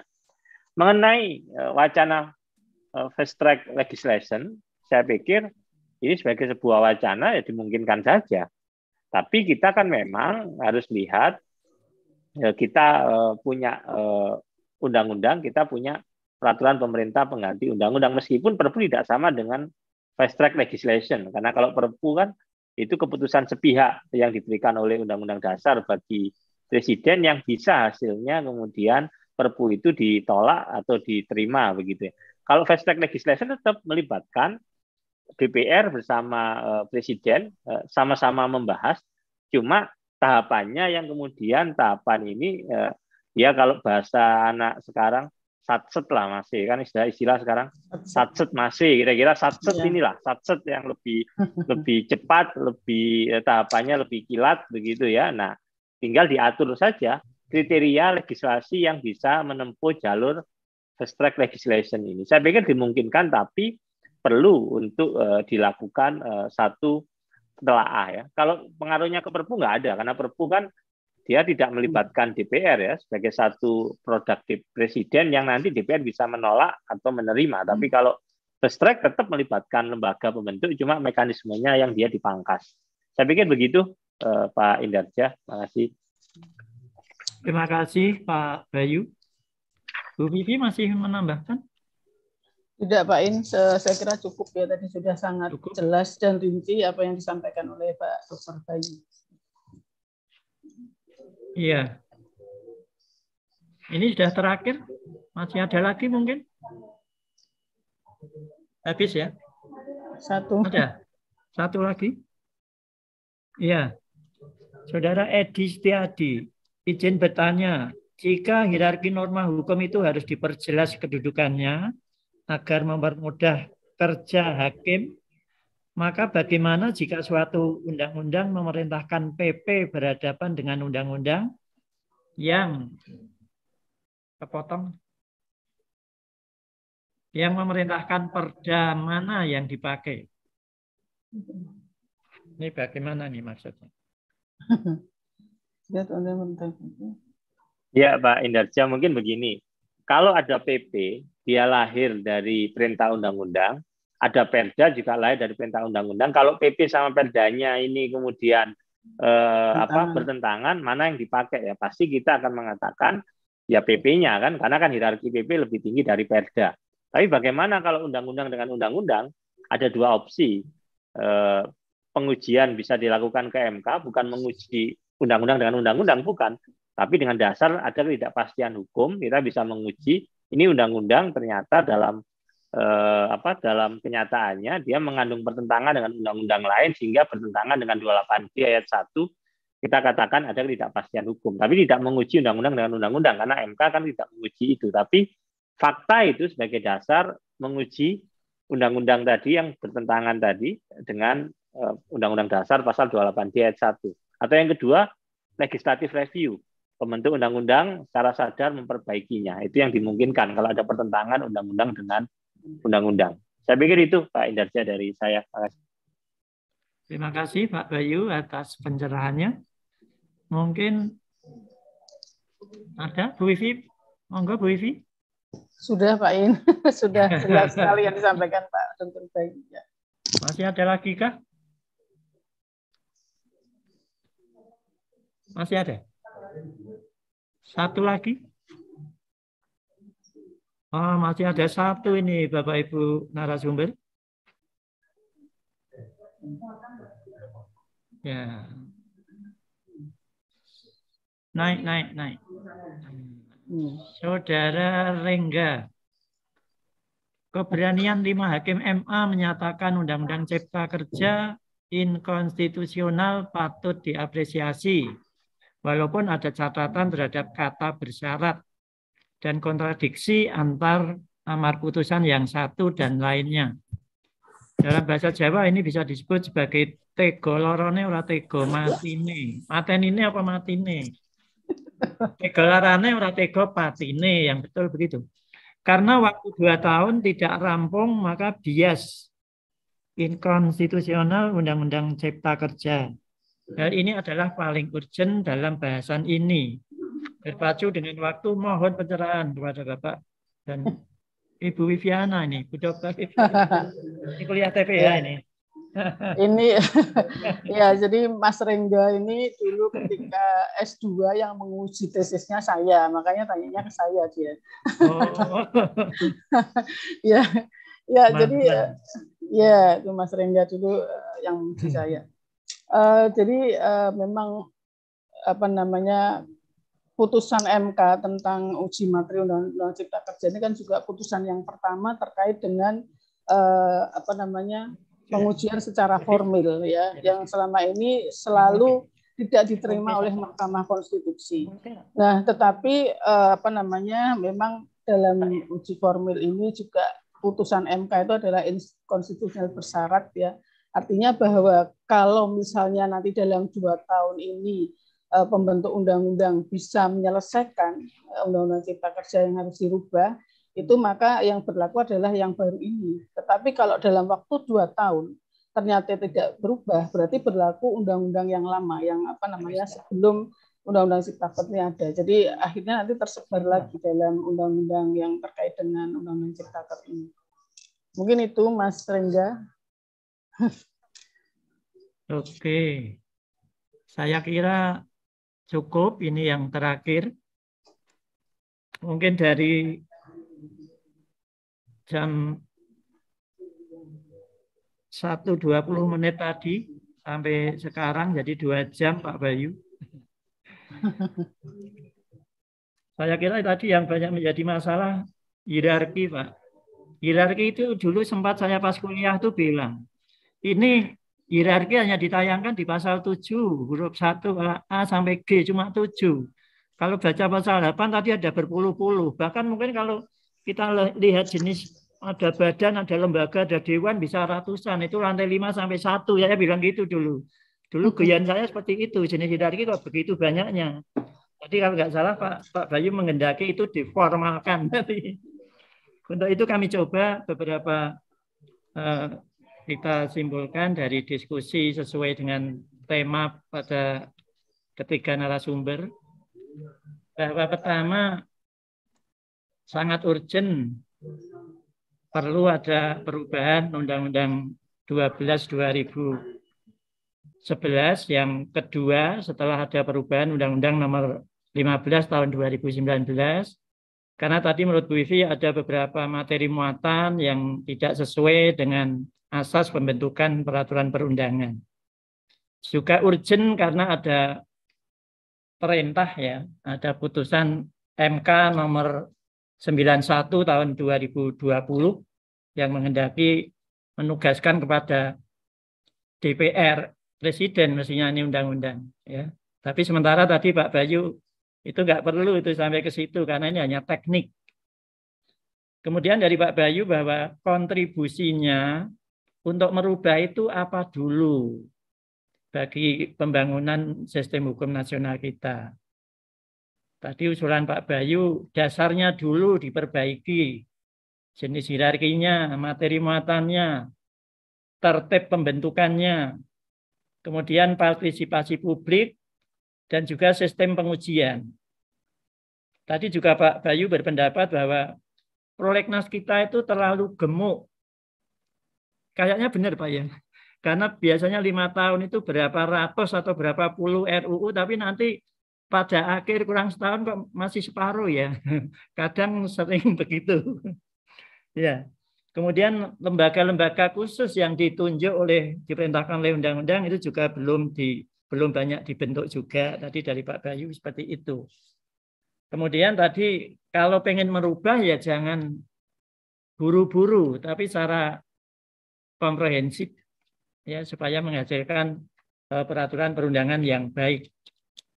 Kemudian dari Pak Roberia tadi menyinggung bahwa banyak sekali regulasi bahwa pemerintah itu punya pengaturan yang banyak dari pusat sampai daerah.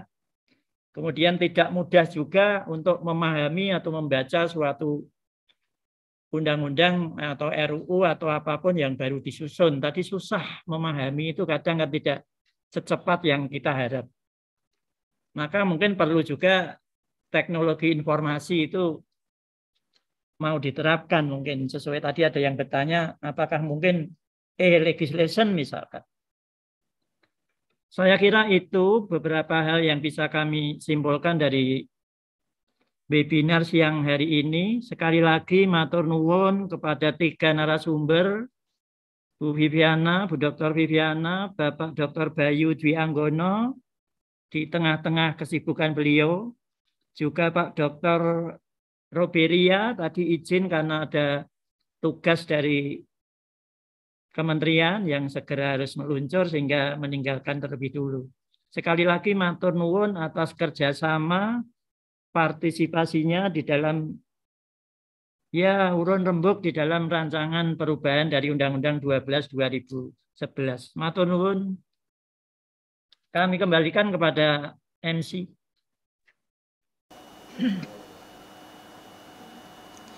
Baik, terima kami, kasih kepada Bapak Indarja SHMH dan seluruh narasumber yang telah menyampaikan materi yang luar biasa pada webinar siang hari ini. Semoga kiranya materi yang telah disampaikan dapat menjadi pembelajaran dan ilmu yang bermanfaat bagi kita semua.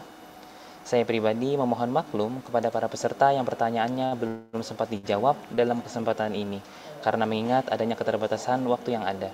Semoga kita bisa bertemu di lain kesempatan. Tak terasa kiranya kita pun telah sampai di penghujung acara.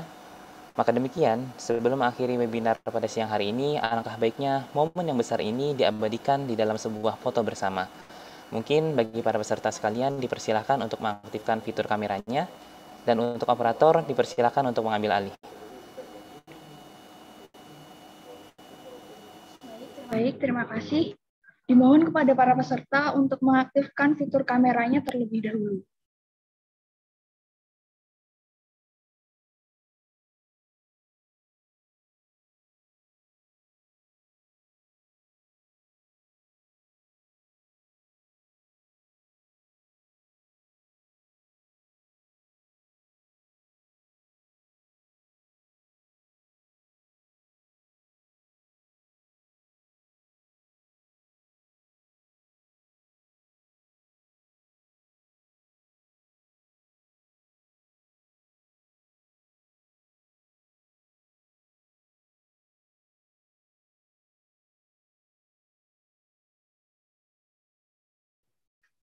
Baik, akan saya mulai untuk sesi foto bersamanya.